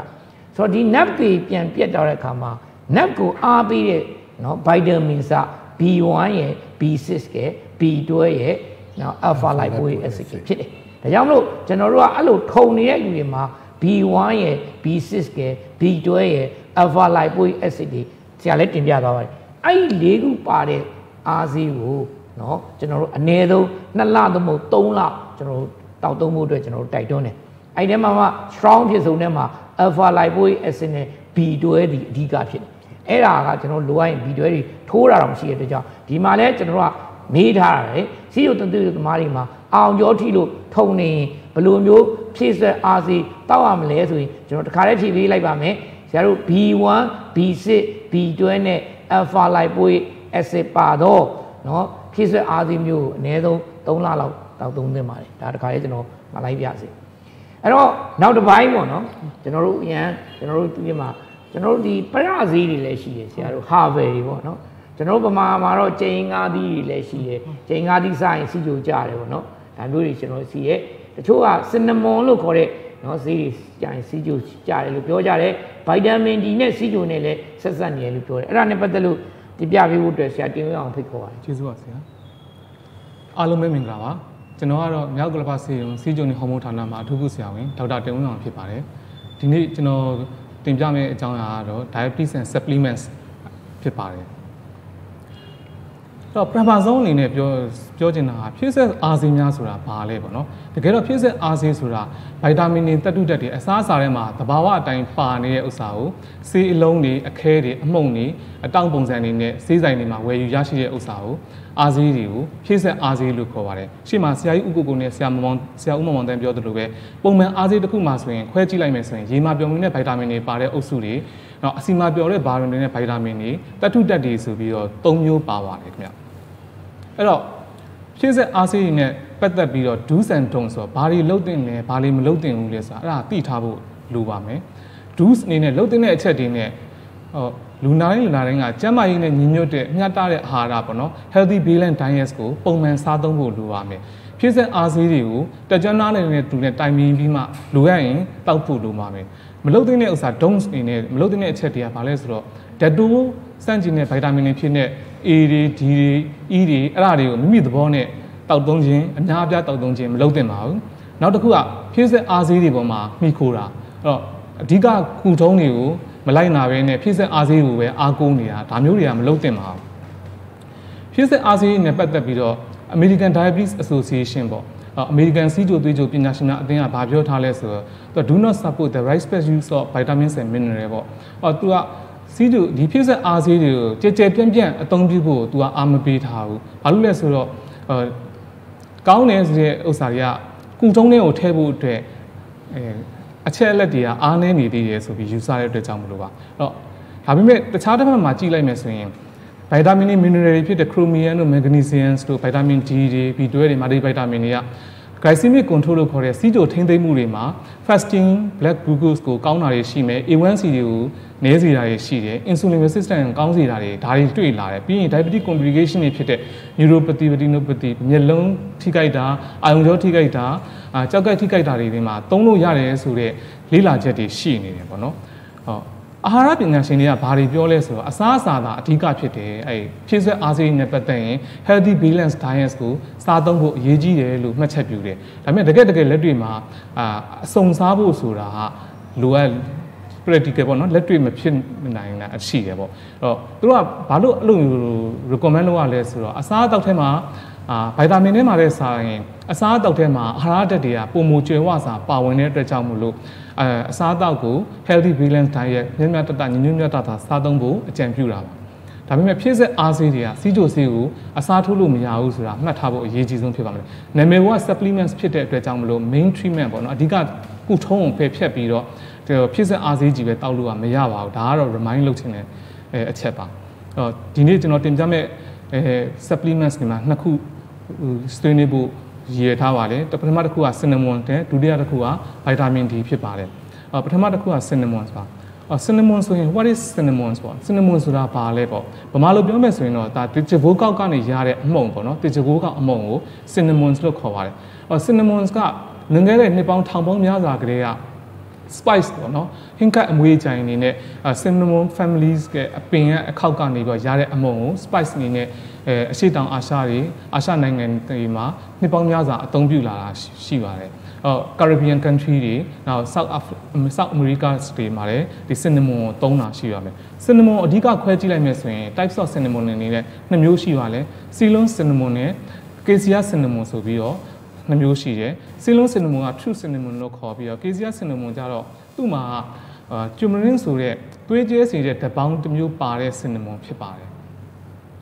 အဲအဲစင်နမွန်အကြောင်း type ကိုသိပြီးဆိုတော့စင်နမွန်ရဲ့ဂုဏ်သက်တည်တွေပေါ့နော်ဘာတွေရှိလဲဆိုတော့ဓာတုပစ္စည်းကိုစန့်ကျင်တဲ့အာနိသင်ပေါ့ antioxidant action ရှိတယ်နောက်တစ်ခုကရောင်ရမ်းမှုကိုတက်တာစေတဲ့ anti inflammatory action ရှိတယ်နောက်တစ်ခုနှလုံးရောဂါဖြစ်နိုင်ခြေကိုရှော့ချပေးတဲ့အာနိသင်ရှိတယ်နောက် neurodegenerative disease တွေဖြစ်တဲ့ Alzheimer နဲ့ Parkinson တွေဖြစ်နှုန်းကိုနှေးစေနိုင်တဲ့အာနိသင်တွေရှိတယ်။ insulin hormone ရဲ့အာနိသင်ကိုကောင်းတာရှိတယ်။သွေးကြိုဓာတ်ကိုရှော့ချပေးနိုင်တယ်။ဘက်တီးရီးယားနဲ့မှုတွေကိုနှိမ်နှင်းနိုင်စွမ်းတည်နိုင်စွမ်းအဲ့ဒီအစွမ်းတက်တည်တွေရှိတယ်။ဒါကတော့ pitbull နဲ့ cinnamon နဲ့ပတ်သက်ပြီးကောင်းတဲ့အချက်တွေပေါ့။ဒါဆိုရင်မကောင်းတဲ့အချက်တွေကဘာတွေရှိသေးလဲ။မကောင်းတဲ့အချက်ဘေးရွက်ဆိုးကျိုးအနေနဲ့ KCR cinnamon မှာကျုံလင်းဆိုတဲ့ဓာတ်ပေါင်းတစ်မျိုးပါတယ်ပေါ့။အဲ့ဒီဓာတ်ပေါင်းကသွေးကျဲစေနိုင်တယ်။ သွေးကျစေနိုင်တဲ့အတွက်ကြောင့်အသေးကိုထိခိုက်စေနိုင်တယ်ကြောက်ကက်ကိုထိခိုက်စေနိုင်တယ်နောက်တစ်ခုကပါးစပ်မှာအနာတွေပေါက်နိုင်တယ်သွေးကြိုနေစေနိုင်တယ်အသက်ရှူလမ်းကြောင်းဆိုင်ရာပြဿနာတွေပေါ်နိုင်တယ်ဆေးဝါးအချို့နဲ့ဓာတ်ပြုနိုင်တယ်အဲ့ဒါအရေးကြီးဆုံးပဲအော်ဆေးဝါးတပြုနဲ့အချို့နဲ့ဓာတ်ပြုနိုင်တဲ့အတွက်ကြောင့်မလို့ကိုဆေးတောက်နေဆရာဝန်ကိုထုတ်ပြောရမယ်အဲ့တော့စင်နမွန်မှာကောင်းတာတွေရှိတယ် best side effect တွေရှိတယ်အဲ့ဒါကိုကိုကတေချာသိထားဖို့လိုပဲပါမယ်အော်ကောင်းတာတွေရှိတဲ့အတွက်ကြောင့်မလို့တေချဘိုးနဲ့ အဲ cinnamon in pre-diabetes ပေါ့နော်ကနစီဂျိုသွေးကြိုကနဦးအဆင့်မှာလေ့လာထားတာဘာလေးရှိလဲဆိုလေ့လာကြည့်လိုက်တော့ဒါ randomized control trial ဆိုတော့ pre-diabetes ပေါ့စီဂျိုကစိုးသွေးကြိုကနဦးအဆင့်မှာဆိုရင်ဟို patients ကတအုပ်စုမှာလူတော့နေတယ်27 patient ပေါ့နော်အာဟို ဟိုအုပ်စုနှစ်စုခွဲလိုက်တယ် cinnamon 500 mg ကိုတစ်နေ့3ချိန်ပေးလိုက်တယ်နောက်တစ်ဖက်မှာじゃ placebo လို့ခေါ်တဲ့ဘာအာနိသင်မှမရှိတဲ့ဆေးကိုပေးထားတယ်ပေါ့နော်ဘာမှ cinnamon မပေးတဲ့အုပ်စုပေါ့အကြမ်းပြင်းပြောရင် cinnamon ပေးတဲ့အုပ်စုနဲ့ cinnamon မပေးတဲ့အုပ်စုကို12ပတ်ကြည့်လိုက်တဲ့အချိန်ကျရင်စင်နမမပေးတဲ့အုပ်စုမှာဆိုရင် fasting blood glucose ကစနပတ်ကြာတဲ့ကြာတက်သွားတာတွေ့ပြီးတော့စင်နမပေးထားတဲ့အုပ်စုမှာ stable ဖြစ်နေတာတွေ့တယ်သူက mean difference ကတော့5 mg per deciliter ပါအဲစင်နမပေးထားတဲ့အုပ်စုမှာလည်း 2 hour post plan တဲ့ after OGTT ပေါ့ OGT လုပ်ပြီးတော့စီးကြိုတိုင်းတဲ့အဖြေတွေကောင်းနေတာကိုတွေ့လာပါတယ်ဒါကြောင့်မလို့ pre diabetes မှာ cinnamon ကကောင်းတယ်ဆိုတဲ့အစာရှိတယ်နောက်တစ်ခုကအာ cinnamon in type 2 diabetes ပေါ့အမျိုးအစားနဲ့စီးကြိုသွေးကြိုမှာ cinnamon ရဲ့အဲကောင်းကျိုးကဘာရှိလဲဆိုတော့ဒါက China မှာလုပ်ထားတဲ့ study ပါအာ60 patient 66 patients ကို3ခု grade ခွဲလိုက်တယ် placebo အုပ်စုနောက် low dose cinnamon 130 mg per day ပေးတဲ့အုပ်စုနဲ့ high dose 360 mg per day ပေးလိုက်တဲ့အုပ်စုနဲ့ endpoint အနေနဲ့သူက fasting blood glucose နဲ့ A1C ကို3လမှပြန်ကြည့်တယ်ပြီးလိုက်တဲ့ကြည့်လိုက်တဲ့အာကြည့်လိုက်တဲ့အချိန်မှာ cinnamon ပေးလိုက်တဲ့အုပ်စုက low dose ပေးတဲ့အုပ်စုပေါ့120 mg ပေးတဲ့အချိန်မှာဆိုရင်18.36လောက်ကျပြီးတော့ high dose 360 mg ပေးတဲ့အုပ်စုမှာ29.16လောက်ကျတာကိုတွေ့ရပါတယ်အဲဒါကြောင့်မလို့ဟို type 2 diabetes တွေမှာ cinnamon ပေးရင် blood glucose က significantly improve ဖြစ်တယ်ဆိုတာကိုတွေ့ရပါတယ်နောက်တစ်ခုကဒီက randomized control trial ဒါဒီ study ကပို့ပြီးတော့ strong ဖြစ်တယ်သူကလူပေါင်း109ယောက်ကို type 2 diabetes မှာ HbA1c 9အထက်အထက်မှာ cinnamon 1 gram per day ကိုရက်ပေါင်း90ပေးလိုက်တယ်ပေးလိုက်တဲ့အချိန်မှာ cinnamon ပေးလိုက်တဲ့အုပ်စုမှာ A1c က0.9လောက်ကျပြီးတော့0.8လောက်0.83လောက်ကျပြီးတော့ cinnamon ပေးတဲ့ group မှာ0.37%လောက်ကျတာကိုတွေ့ရပါတယ်အဲ့တော့ ပေးတဲ့အုပ်စုနဲ့မပေးတဲ့အုပ်စုရှင်ကြည့်မယ်ဆိုရင်ပေးတဲ့အုပ်စုမှာပို့ပြီးတော့ A1C ကို0.5လောက်ပိုကျတယ်ဆိုတာကိုလာတွေ့ပါတယ်အဲ့တော့ A1C 9နဲ့အထက် type 2 diabetes တွေမှာဆိုရင် cinnamon ကိုပေးရင်အဲ A1C ပို့ပြီးတော့0.5လောက်ကျတာကိုတွေ့ရတယ် safe ဖြစ်တာဆိုတာတွေ့ရပါတယ်အဲနောက်ဒါက UK မှာလုပ်ထားတဲ့ study ပါသူက metabolic parameter တွေဖြစ်တဲ့ weight တွေ blood pressure တွေပေါ်မှာ improvement ကိုလိုက်ကြည့်တယ်လိုက်ကြည့်တော့ cinnamon ပေးရင် group မှာဆိုရင် weight က 2.9 kg လောက်ပိုကျတယ် pressure ဆိုရင် systolic pressure ရော diastolic pressure ရောအပေါ်သေးအောက်သေးရော4 mm mercury လောက်ကိုကျတာကိုတွေ့ရပါတယ်ဒီ study ကတော့ type 2 diabetes အပြင် glycemic control ပေါ့နော်စီးကြိုသေးကြိုထိမ့်သိမ်းတာကောင်းတာအပြင်ကို lipid ပေါ့အဆီဓာတ်တွေကောင်းလားမကောင်းလားကိုလေ့လာထားတဲ့ study လေးဖြစ်ပါတယ်။လူပေါင်း60အဲယောက်ျားမျိုး30မိန်းမ30စီမျိုးစားနဲ့စီကြိုလူနာတွေကို group 6ခုခွဲလိုက်တယ်ပေါ့6 group ပေါ့1 2 3ကို group 1 2 3ကို cinnamon 1 gram 3 gram နဲ့6 gram ပေးလိုက်ပြီးတော့4 5 6ကို placebo ပဲပေးထားပြီးတော့ရက်ပေါင်း40ကြာတော့လေးလာလိုက်တဲ့အချိန်ကြာတော့ cinnamon ပေးတဲ့အုပ်စုတွေမှာ fasting blood glucose လည်းကောင်းစေတယ် lipid တွေပေါ့ triglyceride ဆိုတဲ့အဆီဓာတ်ကိုရော LDL cholesterol ကိုရော total cholesterol ကိုရောကျစေတာကိုတွေ့ရပါတယ်အဲ့တော့ cinnamon ကကောင်းတယ်ပြောတော့ cinnamon တစ်ချဘိုးတစ်နေ့ကိုဘယ်လောက်တောက်သုံးရမလဲဆိုတဲ့မိကွန်ရှိလာပါတယ် cinnamon ဖြည့်ဆက်စာကအတီးပြုချက်မရသေးတဲ့ကွန်ထုံကူထုံဖြစ်ပါတယ်ခုနကောင်းတယ်ပြောပြီးမြဲသူတို့ study စီကဟို small study လေးတွေဖြစ်တဲ့အတွက်ကြောင့်မလို့ guideline ထဲမှာမပါသေးဘူးအဲ့ဒါကြောင့်မလို့ပြီးတော့သူ supplements ဖြစ်တဲ့အတွက် drugs မဟုတ်ဘူး drug မဟုတ်တဲ့အတွက်ကြောင့်မလို့တနေ့ကိုဘယ်လောက်တောက်ရမလဲဆိုရဲပမာဏသတ်မှတ်ချက်အတိအကျမရှိဘူးဖြစ်နေတယ်အဲ့ဒါကိုသတိထားဖို့လိုလိမ့်မယ်တကြဘိုးကကျက်သွန်ဖြူလို့နနွန်းလို့တဲ့သူအစားအသောက်ထဲမှာတဘာဝအတိုင်းပါရင်ပါတလောက်စားရင်ကျန်းမာရေးကိုမထိခိုက်ဘူး ကျန်းမာရေးနဲ့ညီညွတ်တဲ့အန်ဒီရမရှိဘူးဒါပေမဲ့ဆေးအနေနဲ့တောက်သုံးမယ်ဆိုရင်ပမာဏများစွာတောက်သုံးရင်အသေးထိခိုက်နိုင်တယ်သွေးကျဲနိုင်တယ်ကြောက်ကက်လုပ်ငန်းတွေကိုပျက်စီးနိုင်တယ်ဒါကြောင့်မလို့တတိထားတင်တယ်တောက်မယ်ဆိုရင်တက်ကြမ်းတဲ့သူနဲ့တိုင်ပင်ပြီးမှတောက်တင်ပါပဲရေဘူးရအဖြစ်တစ်နေ့ကို2 to 4 gram ဆိုတော့အမှုံပေါ့လက်ဖေးစွန်းတဝက်ကနေတစုံထိတောက်ရင် safe ဖြစ်တယ်ပေါ့နော်အန်ဒီရမရှိဘူးလို့သတ်မှတ်ထားပါတယ်အများဆုံးအနေနဲ့1 to 6 grams လောက်ထိတောက်နိုင်ပါတယ်ဒါ6 level of cinnamon use ပါအများပြားတောက်ရင်အစိတ်တင်နိုင်ပါတယ်အရေးအကြီးဆုံးအချက်ကကလေးငယ်တွေကိုဝင်ဆောင်မိခင်တွေနှုတ်တိုက်မိခင်တွေလုံးဝလုံးဝစင်နမွန်မတောက်တင်ပါဘူးဒါစင်နမွန်နဲ့ပတ်သက်ပြီးတော့ကျွန်တော်ရဲ့ဆွေးနွေးချက်ပေါ့နော်နောက်တစ်ပိုင်းကကျတော့ဗိုက်တာမင် D အခုခေတ်မှာဗိုက်တာမင် D ကအများအပြားတောက်ကြတယ်ဗိုက်တာမင် D ကိုလည်းတောက်ရင်ကောင်းတယ်ဆိုပြီးတော့ကြီးညာကြတော့လူနာတွေအကုန်လုံးကဗိုက်တာမင် D တောက်တာ trend တစ်ခုလိုဖြစ်နေတယ်ပေါ့နော်အဲဗိုက်တာမင် D ကြောင့်ဒီမှာနည်းနည်းကျွန်တော်ဆွေးနွေးချင်ပါတယ်အဲပထမဆုံးအနေနဲ့ဗိုက်တာမင် synthesis ပေါ့ဗိုက်တာမင်စင်ခန္ဓာကိုယ်ထဲမှာဘယ်လိုစုဖွဲ့လဲကိုအကြမ်းမြင်လေးပြောချင်ပါတယ်ကျွန်တော်အရေးပြားမှာ 7D hydro ကိုလက်စထရောဆိုတာရှိတယ် pre vitamin D ပေါ့အဲ့ဒါနေအောင်ကြီးကနေ UV ray လာလိုက်တဲ့အချိန်မှာ vitamin D ကိုစူးဖွဲ့တယ်ဒါမှမဟုတ်ရင် make and make product ဆိုတာ note နဲ့ note ထက်ပစ္စည်းတွေရဲ့ငါးတွေ salmon ငါးလိုမျိုးဆိုတာ vitamin D ရရမယ်အဲ့တော့အသေးမှာ25 hydroxy vitamin D ဆိုပြောင်းပြီးတော့ကြောက်ကပ်မှာ125 vitamin D ဆိုပြီးတော့ active vitamin D ကိုစုဖွဲ့ပေးတယ်အဲ့အဲ့ဒီ vitamin D က calcium synthesis regulation လို့เนาะကြက်သားတွေအယိုးတွေရဲ့အဲတိဆောက်ပုံတွေမှာလှုပ်ဆောင်ပေးမယ် insulin ထုတ်တဲ့နေရာမှာလုပ်ပေးမယ် pressure တွေ blood pressure တွေ control လုပ်တဲ့နေရာမှာလုပ်ပေးမယ်နောက်ကြတော့ခန္ဓာကိုယ်ရဲ့ခုခံအားစနစ်တွေမှာလုပ်ပေးမယ် cell တွေပွားတဲ့နေရာတွေမှာလုပ်ပေးမယ်ပေါ့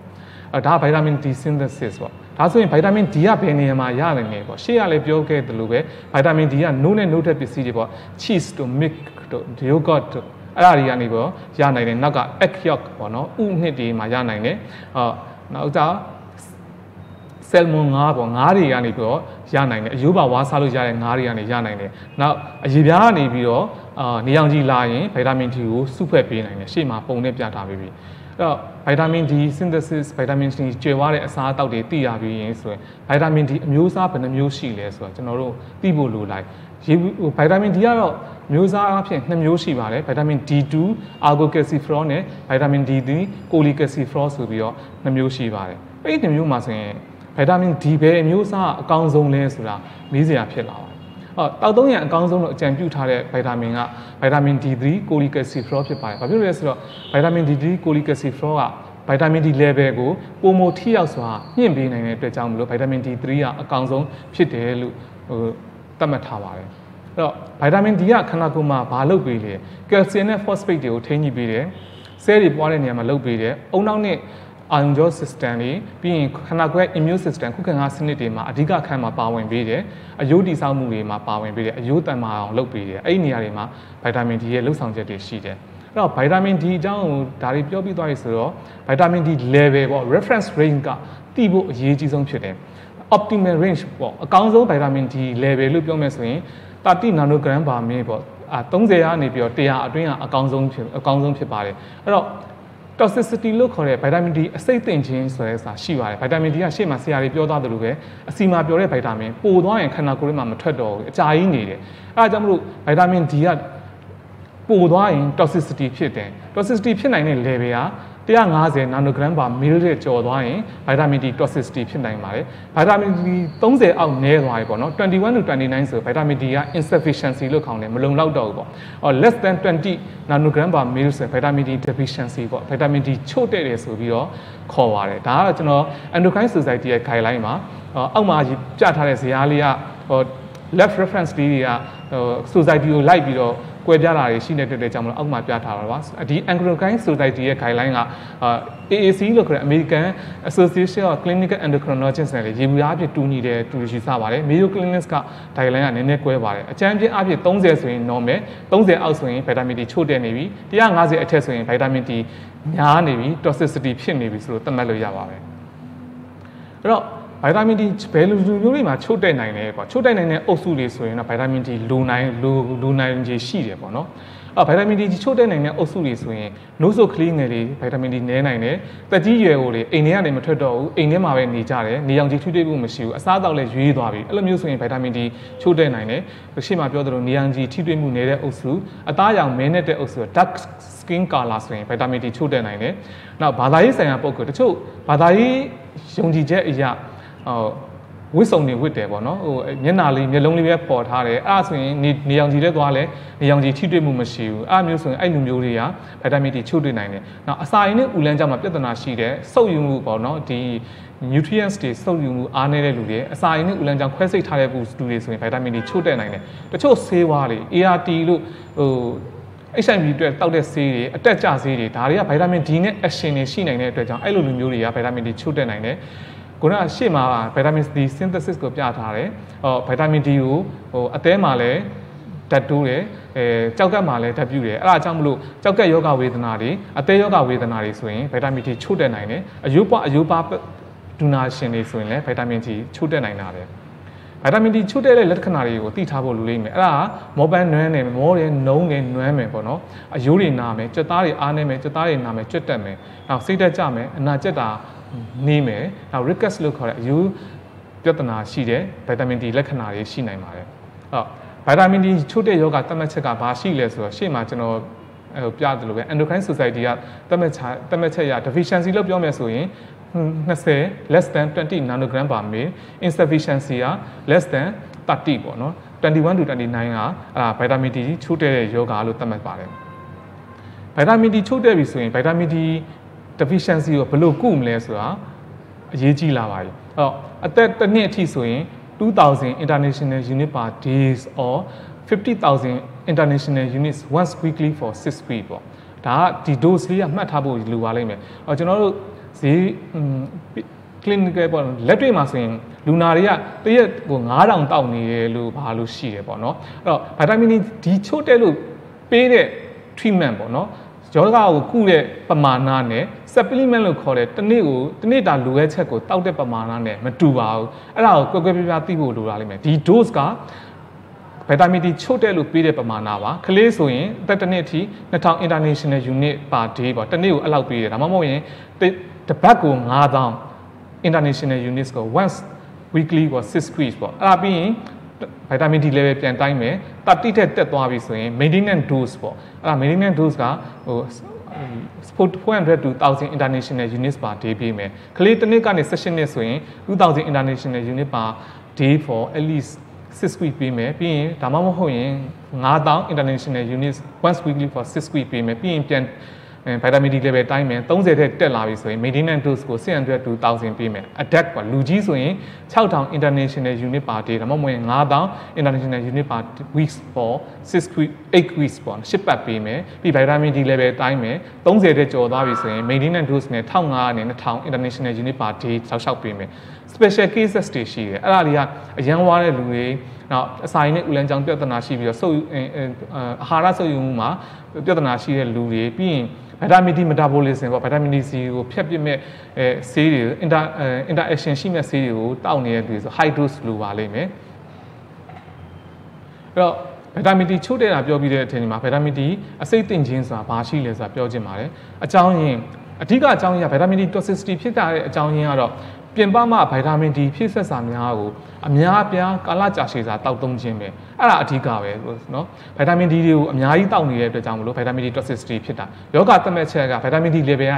150 nanogram per ml တဲ့ကျော်သွားမယ်အဲ့ဒါဆိုရင်ဗိုက်တာမင် D toxicity ဖြစ်ပြီးသွေးထဲမှာတိုင်းကြည့်လိုက်ရင်သူတို့မှာကယ်ဆီယမ်တွေများနေမယ်ဆီထဲမှာလည်းကယ်ဆီယမ်တွေများနေတယ် PTH ဆိုတဲ့ဟော်မုန်းဓာတ်တွေလည်းများနေတယ်ဒါဆိုရင်ဗိုက်တာမင် D toxicity ဖြစ်ပြီပေါ့နော်ဗိုက်တာမင် D toxicity ဖြစ်ပြီဆိုရင်ဗိုက်တာမင် D ဒီလက္ခဏာတွေဘာတွေရှိမလဲဆိုရင် အာယုံစူးစိုက်မှုတွေမရဘူးတတိလစ်မယ်တတိရော့မယ်ရေငတ်မယ်ရေတက်ခန်းချောက်မယ်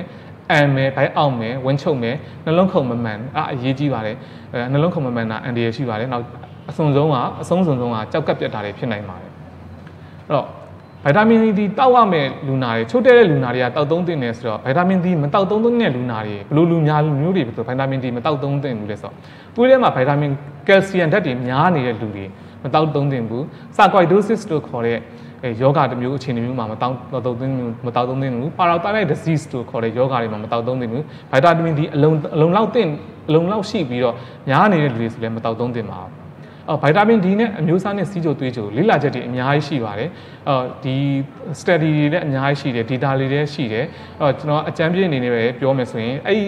အနှစ်ချုပ်ကိုယူလိုက်မယ်ဆိုရင် ခန္ဓာကိုယ်မှာဗီတာမင် D က insulin sensitivity ကိုကောင်းစေတယ် insulin resistant တွေကိုကျစေတယ်။အော်ပိသိပ္ပံပညာရှင်တွေကဗီတာမင် D က pancreas ကနေပြီး insulin ထုတ်ပေးခြင်းကိုအားပေးတယ်ဆိုပြီးတော့ဟောပြောကြပါတယ်။အဲ့တော့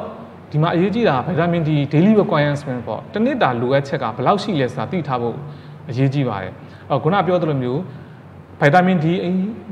အလုံးလောက်ရှိနေရင် daily requirements ပဲတောက်တင်ပါတယ် ဗီတာမင် D deficiency ကိုကုတဲ့ချို့တဲ့တာကိုကုတဲ့ပမာဏကိုသွားတောက်ရင်ဗီတာမင် D အစိတ်တင်တာဖြစ်ပါမယ်အဲ့တော့တနေ့တာလိုအပ်ချက်ဘယ်လောက်ရှိမလဲဆိုအခကလေးအသက်12လအထိပေါ့နော်400 400 international units ပေါ့ IU ပဲလိုပါတယ်ကလေး12တနစ်ကနေအသက်80အထိကို600 international unit ပါဒီအထိပဲလိုပါတယ်ကလေးအသက်လူကြီးအသက်80နှစ်နဲ့အထက်ဆိုရင်800 international units လိုပါတယ် ကိုဝင်ဆောင်မိခင်နဲ့နှုတ်ကဲမိခင်တွေဆိုရင်600 international unit per day လောက်ပဲလိုပါတယ်ဒါတစ်နေ့တာလိုရဲ့ချက်ကကလေးဆိုရင်တစ်နေ့အောက်400တစ်နေ့ကနေ80 600အသက်80အထက်800နဲ့နှုတ်တိုင်မိခင်တွေကိုဝင်ဆောင်မိခင်တွေ600 international unit လိုပါတယ်ဒါဗီတာမင် D တစ်နေ့တာလိုရဲ့ချက်ပေါ့အဲ့မှာမေးစရာရှိလိုက် how much do i need to take vitamin a day ပေါ့တနေ့ကို vitamin D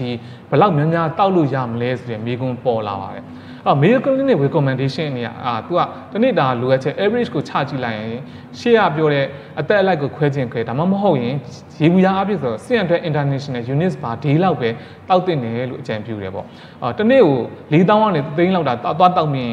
လာပေါင်းလာတွေနည်းနည်းကြာလာနဲ့ vitamin D toxicity ဖြစ်လာမယ်လို့သူတို့က recommend လုပ်ထားပါတယ်အဲ့တော့ how much is too much ပေါ့ဘယ်လောက်များများတောက်ရင်အများပြားတောက်တယ်လို့သတ်မှတ်ထားလဲဆိုတော့ သူတို့ကတစ်နေ့ကို4000 international unit per day not more than 400 microgram per day ပေါ့အဲ့လောက်ထက်ပိုမတောက်တင်ဘူးလို့သတ်မှတ်ထားပါတယ်အဲ့တော့တနေ့ကို9000တောက်တောက်နေတဲ့လူတွေဆိုရင်အန်ဒီရရှိပါတယ်သူကအများဆုံးအလွန်ဆုံးတောက်ရမယ်ဆိုရင်တော့မှ4000တဲ့မပူပါဘူးလို့သတ်မှတ်ထားပါတယ်6 level အနေနဲ့တော့800ကနေရောတရက်ကို800လောက်ကအကောင်းဆုံးတစ်လကို 2000 international unit ကအကောင်းဆုံးလို့သတ်မှတ်ပါတယ်။အော်ကလေးတွေပြန်ခွဲလိုက်မယ်ဆိုကလေးဆို1000 1500လောက်ကအကောင်းဆုံးအသက်တစ်နှစ်ကနေရှင်းနေဆို2500 3000အသက်9နှစ်နဲ့အထက်လူကြီးတွေအမမဟုတ်ရင်နိုးတိုင်းမိခင်တွေဆိုရင်4000တဲ့ပိုမတောက်တင်လို့ဆိုပြီးတော့သတ်မှတ်ပါတယ်။အဲတနေ့ကို1000ဒီတစ်လုံးတောက်တာကစိတ်ဖြစ်ပါတယ်။အော်အားလုံးကိုခြုံငုံပြီးတော့သုံးသက်ပြောရမယ်ဆိုရင်အနည်းချုပ်အနေနဲ့ပြောရမယ်ဆိုရင်ဖြည့်ဆက်အားစေးတွေက စီကြိုကြာစင်းနေရာမှာအစားထိုးတောက်ရင်မရပါဘူးဖြည့်ဆက်အားစေးတွေကိုတောက်မယ်ဆိုရင်တက်ကြနားနေတဲ့သူနဲ့တိုင်ပင်ပြီးမှတောက်တင်ပါတယ်ဖြည့်ဆက်အားစေးတွေတောက်နေတယ်ဆိုရင်ဆရာဝန်ကိုပြောပြပြီးတော့အကြံဉာဏ်ယူသင့်တယ်ဗိုက်တာမင် D နဲ့ပတ်သက်ပြီးတော့တနိတာလိုရချက်အရတောက်တဲ့ပမာဏနဲ့ချို့တဲ့တောက်ရဲ့ပမာဏလုံးဝမတူပါဘူးဗိုက်တာမင်အလုံလောက်ရှိနေတဲ့လူဒီအလုံလောက်ရှိနေတဲ့လူတွေမှာချို့တဲ့တောက်ရတဲ့ပမာဏကိုတွားတောက်မိပါအစိတ်တဲ့တော့ဗိုက်တာမင် D intoxicity ဖြစ်နိုင်ပါတယ်အော်ကျွန်တော်ရဲ့ ဒီနေ့ဆွေးနွေးမှုကိုဒီလောက်နဲ့ပဲအဆုံးသတ်ပါတယ်အဲအားလုံးကြည့်ရှုပေးတဲ့လူများအားလုံးကိုကျေးဇူးတင်ပါတယ်ခင်ဗျာဆရာကိုဒီအောင်ကျေးဇူးတင်ပါတယ်ကျေးဇူးပါခင်ဗျာအဲ့တော့ကျွန်တော်တို့ဒီနေ့ဒီ Facebook Live ကနော်နားထောင်တဲ့လူဦးရေနှမျိုးကိုကျွန်တော်တို့ယဉ်ညွှန်းပါတယ်ဒီပိုင်းကတော့ဒါဒါပီတူလူထုပေါ့နော်ဒါပီတူလူထုတွေကျွန်တော်တို့ကဆရာမဟုတ်တော့လူများအတွက်ရပါတယ်နောက်တစ်ပိုင်းကချိန်ထဲမှာကျွန်တော်တို့ကြည့်ရှုအားပေးနေကြတဲ့ကျွန်တော်တို့ရဲ့လုပ်ဖို့ကင်ပဲ เนาะကျွန်တော်တို့ကဂျူနီယာစီနီယာဆရာဝန်များလည်းပါပါတယ်ဒါကြောင့်မလို့ကျွန်တော်တို့တခါလေးတင်ပြသွားတဲ့အခါမှာကျွန်တော်တို့အနေနဲ့ကဗာလဲဆိုတော့တခါလေးမှာတာမန်လူတွေနားလည်တဲ့စကားလုံးတွေနဲ့သုံးသွားပြီမဲ့တခါတလေမှာကျွန်တော်တို့ကသူသေနာစာတန်းတွေကိုပြတဲ့အခါမှာကျွန်တော်တို့ကအင်္ဂလိပ်လူတွေအများကြီးထည့်ပြောသွားတယ်ရှိပါတယ်ဒါအပိုင်းတော့မိဘပြည်သူတို့ခဏလောက်သိသိခံပြီးနားထောင်ပေးကြပါလို့ဒါကတော့ကျွန်တော်တို့ဆရာဝန်ဆရာမများအတွက်ဖြစ်ပါတယ်အဲ့တော့ဆရာနှစ်ပိုင်းတင်ပြသွားတယ် အဲ့ဒါကျွန်တော်လေ့လာမိလိုက်တာတော့စနမော်ပေါ့ဟုတ်ကဲ့ဒါတိကျဘိုးကောက်တိကျဘိုးကောက်ကကျွန်တော်တို့ကစီရုပ်သွေးကြိုမှာတစ်မဖြစ်သေးတဲ့ပရီဒါဘလိသမားတွေမှာတောက်သုံးခြင်းအပြင်နော်ဖြစ်ချင်းကိုကာကွယ်နိုင်တယ်ဆိုရဲသူနာဆာနန်တွေရှိတယ်ဆိုတော့ဆရာတင်ပြသွားကြအောင်ကျွန်တော်ကျေးဇူးတင်ပါတယ်နောက်တစ်ချက်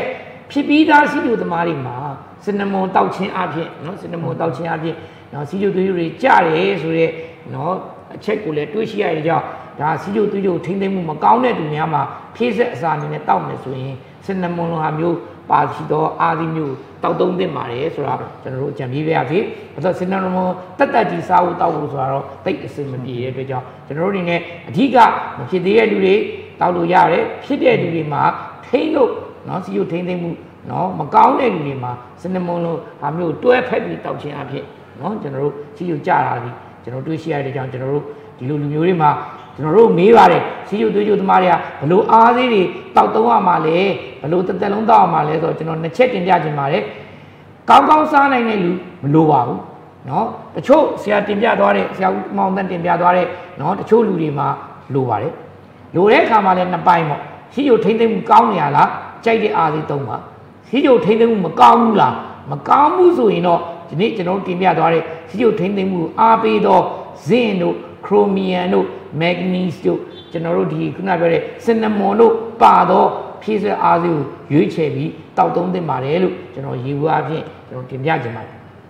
နောက်တစ်ပိုင်းပေါ့နော်ဆရာတင်ပြသွားတဲ့ဗိုက်တာမင် D ပေါ့ဟုတ်ကဲ့ဗိုက်တာမင် D နဲ့စီးကျိုနဲ့ကသူ့နတ်ဆန်နဲ့အများကြီးထွက်ပါတယ်။ဒါကလည်းကျုံနဲ့ကျမလိုပဲဗိုက်တာမင် D နည်းလို့စီးကျိုတွေဖြစ်တယ်ဆိုတာ ပြောသလိုဗိုက်တာမင် D နည်းလို့စီးကျိုတွေထိမ့်မရတာရှိသလိုစီးကျိုသမားတွေမှာဗိုက်တာမင် D နည်းနေရလဲတွေ့ရကြောင်းနှစ်ခုကတော့အပြန်အလှန်ဗိုက်စီပါစာပဲပေါ့နော်။အဲ့တော့ကျွန်တော်တို့အနေနဲ့ဒီဗိုက်တာမင် D ကိုဆရာတိတိကျကျတင်ပြသွားပါတယ်ဟုတ်ကဲ့ကျွန်တော်တို့ကဗိုက်တာမင် D ဒီ fat soluble ဗိုက်တာမင်ဖြစ်တယ်အဆီဓာတ်ထဲမှာပျော်ဝင်တဲ့ဗိုက်တာမင်ဖြစ်တဲ့ကြောင့်အများကြီးတောက်မကောင်းပါဘူးဆရာတင်ပြသွားတယ်150ကျော်သွားရင်ဆိုးကျိုးတွေဖြစ်နိုင်တယ်30အောက်မှာကျွန်တော်တို့ကချုပ်တဲ့နေတယ် အဲကြောင့်အကောင်းဆုံးက30နဲ့150ကျမှရှိပါတယ်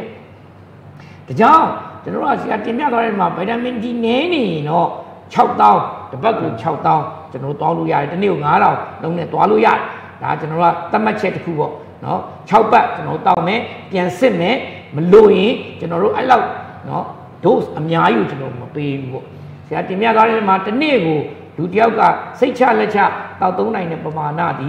600 800 1000ဒီရက်မပိုသင့်ဘူးတရက်မပိုသင့်ဘူး4000ကျော်တနေ့စဉ်တောက်နေရသည်လူအန်ရပေးနိုင်နေဆိုတော့ဆရာအတိအကျတင်ပြသွားတဲ့ကြောင့်ကျွန်တော်အများကြီးကျေးဇူးတင်ပါတယ်ဒီထဲမှာလည်းအများကြီးပေါ့နော်ဗန်ဒမ်နဲ့ပတ်သက်လို့ဒီလူကွန်ရက်တွေမှာလည်းအမျိုးမျိုးပြောနေကြတဲ့ကြောင့်ဒါကျွန်တော်တို့တင်ပြသွားတာတွေအကုန်လုံးဒီသူတင်နာစာတန်းတွေကျွန်တော်တို့ရဲ့ American Derby နော်နော်ဒါ Association American ရဲ့ diet နော် Association တွေမှာ သတ်မှတ်ထားတဲ့လူတယောက်မှာရှိတဲ့ဗီတာမင် D level ကိုသိပ္ပံနည်းကျတင်ပြသွားတာဖြစ်ပါတယ်ကျွန်တော်တို့ထပ်ပြောပါမယ်နော်ချို့တဲ့ရင်အများကြီးတောက်ရပါတယ်မချို့တဲ့ပဲပုံမှန်စိတ်ချလက်ချတောက်ချင်တယ်ဆိုရင်တော့တထောင်နော်600 800တထောင်နဲ့ပုံမတောက်တင်ပါဘူးသူကထပ်လောင်းပြောပြတယ်ချိန်ထဲမှာရင်ဗီတာမင် D ချို့ရင်းတော့ရင်ကျွတ်တက်တတ်တယ်ဆရာဟုတ်ကဲ့နော်ကျွတ်သားတွေနာတယ်ဒါကြောင့်ဒီထဲမှာလည်းကျွန်တော်မေးခွန်းတစ်ခုကမေးတယ်စီးရုပ်သမားတွေရဲ့ ကျွတ်တက်နေတယ်တဲ့ကျွတ်သားလာနေတယ်တဲ့ဘလို့ဆေးတွေတောက်သုံးရမလဲလို့ပြောရင်ကျွန်တော်အနေနဲ့တင်ပြချင်တာတစ်နော်ဗိုက်တာမင် D စစ်ပေးပါနံပါတ်1ကယ်လ်ဆီယမ်ဓာတ်ဆိုတာစစ်ပေးပါနံပါတ်3မက်ဂနီဆီယမ်ဓာတ်ဆိုတာစစ်ပေးပါဒီဓာတ်သုံးချိုရင်းရင်ကျွန်တော်တို့ကကြွတ်တက်တတ်ပါတယ်ဒီတိုင်းလည်းကြွတ်သားနာတတ်ပါဒါဆိုကျွန်တော်ကအဲ့ဒါကိုဖောက်စစ်လို့ရပါတယ်စစ်မဲ့နည်းနေကျွန်တော်ဖြည့်မယ်ပေါ့ဒါကျွန်တော်တို့ဒီနည်းနဲ့ကြွတ်တက်တာကိုကျွန်တော်တို့သွားကြည့်ကြပါတယ်ဒါက ဒီဗိုက်တာမင်နဲ့ပတ်သက်လို့ကြွက်တက်တာကိုပြောတာပါအခြားသောကြွက်တက်တဲ့နော်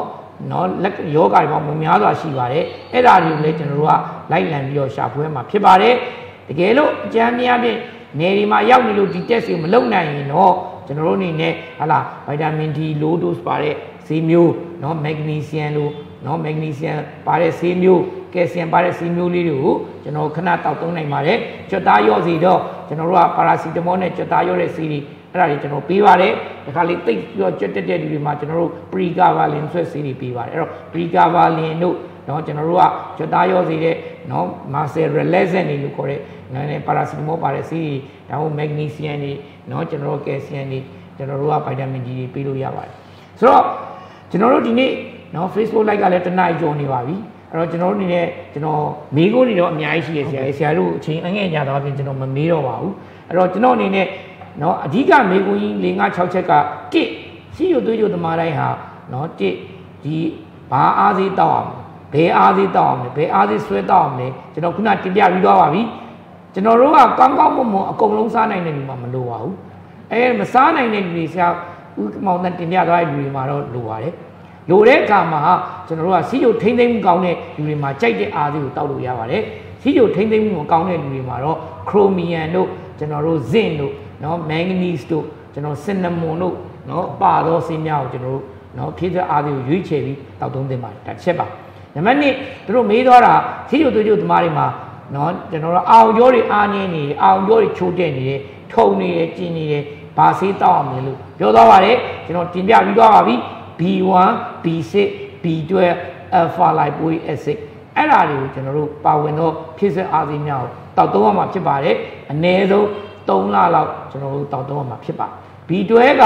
ကျွန်တော်က metformin ရေရှည်တောက်တဲ့လူတွေမှာထုံနာကျင်နာဖြစ်လာရင် B12 ကိုအဓိကထားတောက်တင်ပါတယ် metformin ကြောင့် B12 division C လို့ခေါ်တဲ့ချို့တက်တက်တဲ့ကြောင့် B12 ကိုကျွန်တော်တောက်သုံးတင်ပါတယ်လို့ကျွန်တော်တင်ပြပြစေနောက်တစ်ခုကြွက်တက်တာအခုကျွန်တော်တင်ပြပြီးဖြစ်သွားပါတယ်နောက်တစ်ခုကတော့ဗာလဲတော့စီးကြိုကြောင့်နောက်ဆက်တွဲနှလုံးကြောက်ကပ်မျက်စိတွေထိနေဘလို့အားသေးမျိုးတောက်သုံးတင်ပါကလေး မျက်စိနဲ့ပတ်သက်လို့ဆရာလည်းနည်းတင်ပြသွားသေးတယ်နော် B1 B6 B12 တွေနဲ့ကျွန်တော်တို့က manganese ဆိုတာပါတဲ့ဟာတွေကျွန်တော်တို့တောက်သုံးလို့ရပါတယ်ဒီအချက်တွေကကောင်းပါတယ်ဒီဆေးတွေကောင်းပါတယ်အဲ့တော့သွေးတိုးသမားတွေဆရာတင်ပြသွားတယ် manganese ပါတဲ့ဟာမျိုးကနော်ဒါ potassium ဓာတ်ကျွယ်ဝတဲ့အစားအသောက်တွေကနော်သွေးပေါင်ကျစေတဲ့အတွက်ကြောင့်ဒီလိုမျိုးပါဝင်တဲ့အားသေးတွေကိုကျွန်တော်တို့ရွေးချယ်ပြီးတောက်စေချင်ပါတယ် ရှိရသမားများငါးကြီးစီတောက်လို့ရလာတယ်အဲ့ဒါတော့ငါးကြီးစီထဲမှာကျွန်တော်တို့က omega 3ဆိုတာလေးလည်းပါပါတယ်တချို့ငါးကြီးစီကဗိုက်တာမင် D တွေနဲ့လည်းတွဲထားပါတယ်အဲ့တော့ကျွန်တော်တို့ကငါးကြီးစီကိုသုံးနေရမှာကျွန်တော်တို့သုံးပါတယ်နံပါတ်1ဒူးနာတဲ့လူတွေမှာကျွန်တော်တို့သုံးပါတယ်နံပါတ်2ကျွန်တော်တို့အနေနဲ့နော်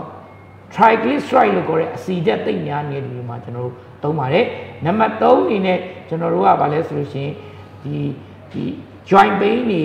ခုနပြောတဲ့ triglyceride တွေတက်တဲ့လူတွေမှာကျွန်တော်တို့အဓိကထားပြီးကျွန်တော်သုံးပါတယ်နောက်တစ်ခုကတော့ကျွန်တော်တို့ကဒီ marine oil ကကောင်းမွန်တဲ့အတွက်ကြောင့်နှလုံးသမားတချို့တွေမှာကျွန်တော်တို့ကငါးကြီးစီကိုတောက်သုံးတာတွေကိုကျွန်တော်တို့ပေးပါတယ်ဒါကြောင့်မလို့ omega 3တောက်ဖို့အတွက်ကအဓိကဒူးနာနေတဲ့ကြီးပေါင်းရှိနေတဲ့လူတွေမှာကျွန်တော်တွဲသုံးပါတယ်နောက်တစ်ခုကတော့ခုနက triglyceride ဆိုတာသိများတဲ့လူတွေမှာကျွန်တော်သုံးပါတယ်ဒါကြောင့်ကျွန်တော်အနေနဲ့ဒီနေ့เนาะအာကျွန်တော်တို့ဒီ Facebook live လေးမှာတစ် စီးကျိုတမာတိုင်းအားသေးတောက်သုံးသင့်ပါသလားဒါကျွန်တော်တို့ဖြေပြီးသွားပါပြီစီးကျိုတမာတွေကဘလို့အားသေးတွေတောက်သုံးသင့်ပါသလဲ control ကောင်းတဲ့လူကြိုက်တာတော့ပါ control မကောင်းတဲ့လူကကျွန်တော်တို့ကျင်းပြသွားတဲ့ဖြည့်ဆက်စာတွေပါတဲ့အားသေးမျိုးရွေးချယ်သုံးသင့်ပါတယ်နောက်တစ်ခုကတော့ကြောက်ကတ်ထီတဲ့လူတွေဘာတွေမှာကျွန်တော်တို့ပြီးတဲ့အားသေးလည်းကျွန်တော်ခုတင်ပြသွားပါပြီကြွတ်တက်တဲ့လူတွေလည်းကျွန်တော်တင်ပြပြီးဖြစ်ပါတယ်နောက်ဆုံးပဲကျွန်တော်ပြောချင်တာဒီစီဂျိုသွေးကြိုနဲ့ဖြည့်ဆက်အားသေးတွေဟာဆရာပြုံးအောင်တင်ပြသွားသလိုသူတို့က တောက်ဆေးတွေကိုအစားထိုးတာမဟုတ်ပါဘူးအားပေးတာအားပေးတာကျွန်တော်တို့ကနောက်က like ကူပေးတာဖြစ်တဲ့ကြောင့်နော်စီဂျိုဖြည့်ဆက်အားသေးတွေတောက်ပြီးတော့ကျွန်တော်တို့လက်ရှိတောက်နေတဲ့ဆေးတွေအကုန်ဖြုတ်လိုက်တာမျိုးမလုပ်ပါနဲ့လုံးဝမလုပ်ပါနဲ့ကျွန်တော်တို့ကဒါအားဖြည့်ပြီးရဆိုတာကိုကျွန်တော်တင်ပြပြစီတချို့သောအားသေးတွေဟာဆိုပါတော့ဗိုက်တာမင် D လိုဟာမျိုးတွေ ADEG လိုဟာမျိုးတွေကကျွန်တော်တို့နော်လိုအပ်တာတဲ့ပုံပုံတောက်သုံးရင်လူအန္တရာယ်ပြုနိုင်တယ်ဆိုတာကျွန်တော်တို့တင်ပြပြစီအဲ့တော့ကျွန်တော်တို့ဒီနေ့အနေနဲ့ပေါ့နော်စီးကြိုနဲ့ နော်ဖြည့်စက်အားသေးများအကြောင်းကိုနော်ပြည့်ပြည့်စုံတင်ပြသွားတဲ့ဆရာကြီးမောင်တန်းနဲ့ဆရာဦးပြုံးအောင်ကျွန်တော်တို့အထူးကျေးဇူးတင်ပါတယ်ကျွန်တော်တို့ဒီတိတန်အားသေးတွေပေါ့မကြောက်ကသမိုင်းတောင်းအားသေးတွေတက်တက်ရှိရနှလုံးသမိုင်းတောင်းတဲ့အားသေးတွေတက်တက်ရှိတယ်ဒီမျိုးတွေရှိရင်ကဒီနေ့ကတော့ကျွန်တော်စီးကြိုတွေးကြိုနဲ့ဖြည့်စက်အားသေးကိုတင်ပြသွားတာဖြစ်ပါတယ်နောက်ပိုင်းမှာကျွန်တော်တို့က generally ပေါ့ generally စီးကြိုသေးအားသေးဆိုစီးကြိုနဲ့မဆိုင်ဘူးပေါ့လူတိုင်းတောက်တဲ့အားသေးတွေကဘယ်နှမျိုးရှိတယ်လဲ နော်ဘယ်လိုမျိုးကွဲပြားနေကြပါသလဲဘယ်လိုလူတွေကဘယ်လိုတောက်ပါလဲဆိုတာလဲနောက်ပိုင်းမှာကျွန်တော်တို့နော်ဆွေးနွေးပြီးတော့တင်ပြအောင်မှာဖြစ်ပါတယ်အဲ့တော့ကျွန်တော်တို့ရဲ့ဒီနေ့ Facebook live လေးကိုကျွန်တော်တို့ကြည့်ရှုအားပေးနေကြတဲ့ညီမပြည်သူများเนาะကျွန်တော်တို့ကဆရာဝန်ဆရာမများအားလုံးကိုကျွန်တော်တို့အထူးကျေးဇူးတင်ရှိပါကြောင်းကျွန်တော်တို့ဒီ season လေးကိုပံ့ပိုးပေးတော့ကျွန်တော်တို့ဒီအဲဒီ synchro 4เนาะ synchro 4တို့ RDN တို့ဒီကျွန်တော်တို့ဒီဒီ Z5 ရဲ့ ကျွန်တော်တို့က naturally better program ကိုလည်းကျွန်တော်တို့တင်ပြပါတယ်အဲကျေးဇူးအများကြီးတင်ပါတယ်အော်ကျွန်တော်တို့ကဒီအစီအစဉ်ကသူတို့ကကျွန်တော်တို့ပေါ့နော်အာကျွန်တော်တို့အကူအညီတောင်းတာဖြစ်ပါတယ်ကျွန်တော်တို့ပြည်သူလူထုနဲ့ကျွန်တော်တို့ရဲ့လုပ်ဖို့ကိုင်းမဲ့ဆရာများကိုကျွန်တော်တို့အခုเนาะလက်လက်တွေ့နေပင်မှာတွေ့ရှိနေရတဲ့เนาะပြဿနာတွေเนาะတွေ့ရှိရတဲ့เนาะအအချက်လက်တွေကိုကျွန်တော်တို့စနစ်တကျသူတည်တနာเนาะ ဖတ်ပြီးတင်ပြခြင်းနဲ့ကျွန်တော်တို့ကူညီပေးပါဆိုလို့သူတို့ကူညီကြရင်ဖြစ်ပါတယ်ဒါကြောင့်မလို့ကျွန်တော်တို့သူတို့စီကသူတို့ရဲ့ Facebook ကနော်ပြောတဲ့အတွက်ကြောင့်သူတို့ဆေးတွေကြီးတောင်းမယ်လို့အဲ့လိုကျွန်တော်မကြင်ညာပါဘူးဒါကြောင့်ကျွန်တော်တို့ကဘလို့လူတွေဘလို့တောက်တင်နေဆိုတာကိုဆရာတို့အနေနဲ့ရွေးချယ်ပြီးတောက်ပြီးဖို့ကျွန်တော်တို့ကတင်ပြတာဖြစ်ပါတယ်ကျေးဇူးအများကြီးတင်ပါတယ်ခင်ဗျဆရာတို့မြောက်ကျေးဇူးတင်ပါတယ်ဟုတ်ပါဆရာ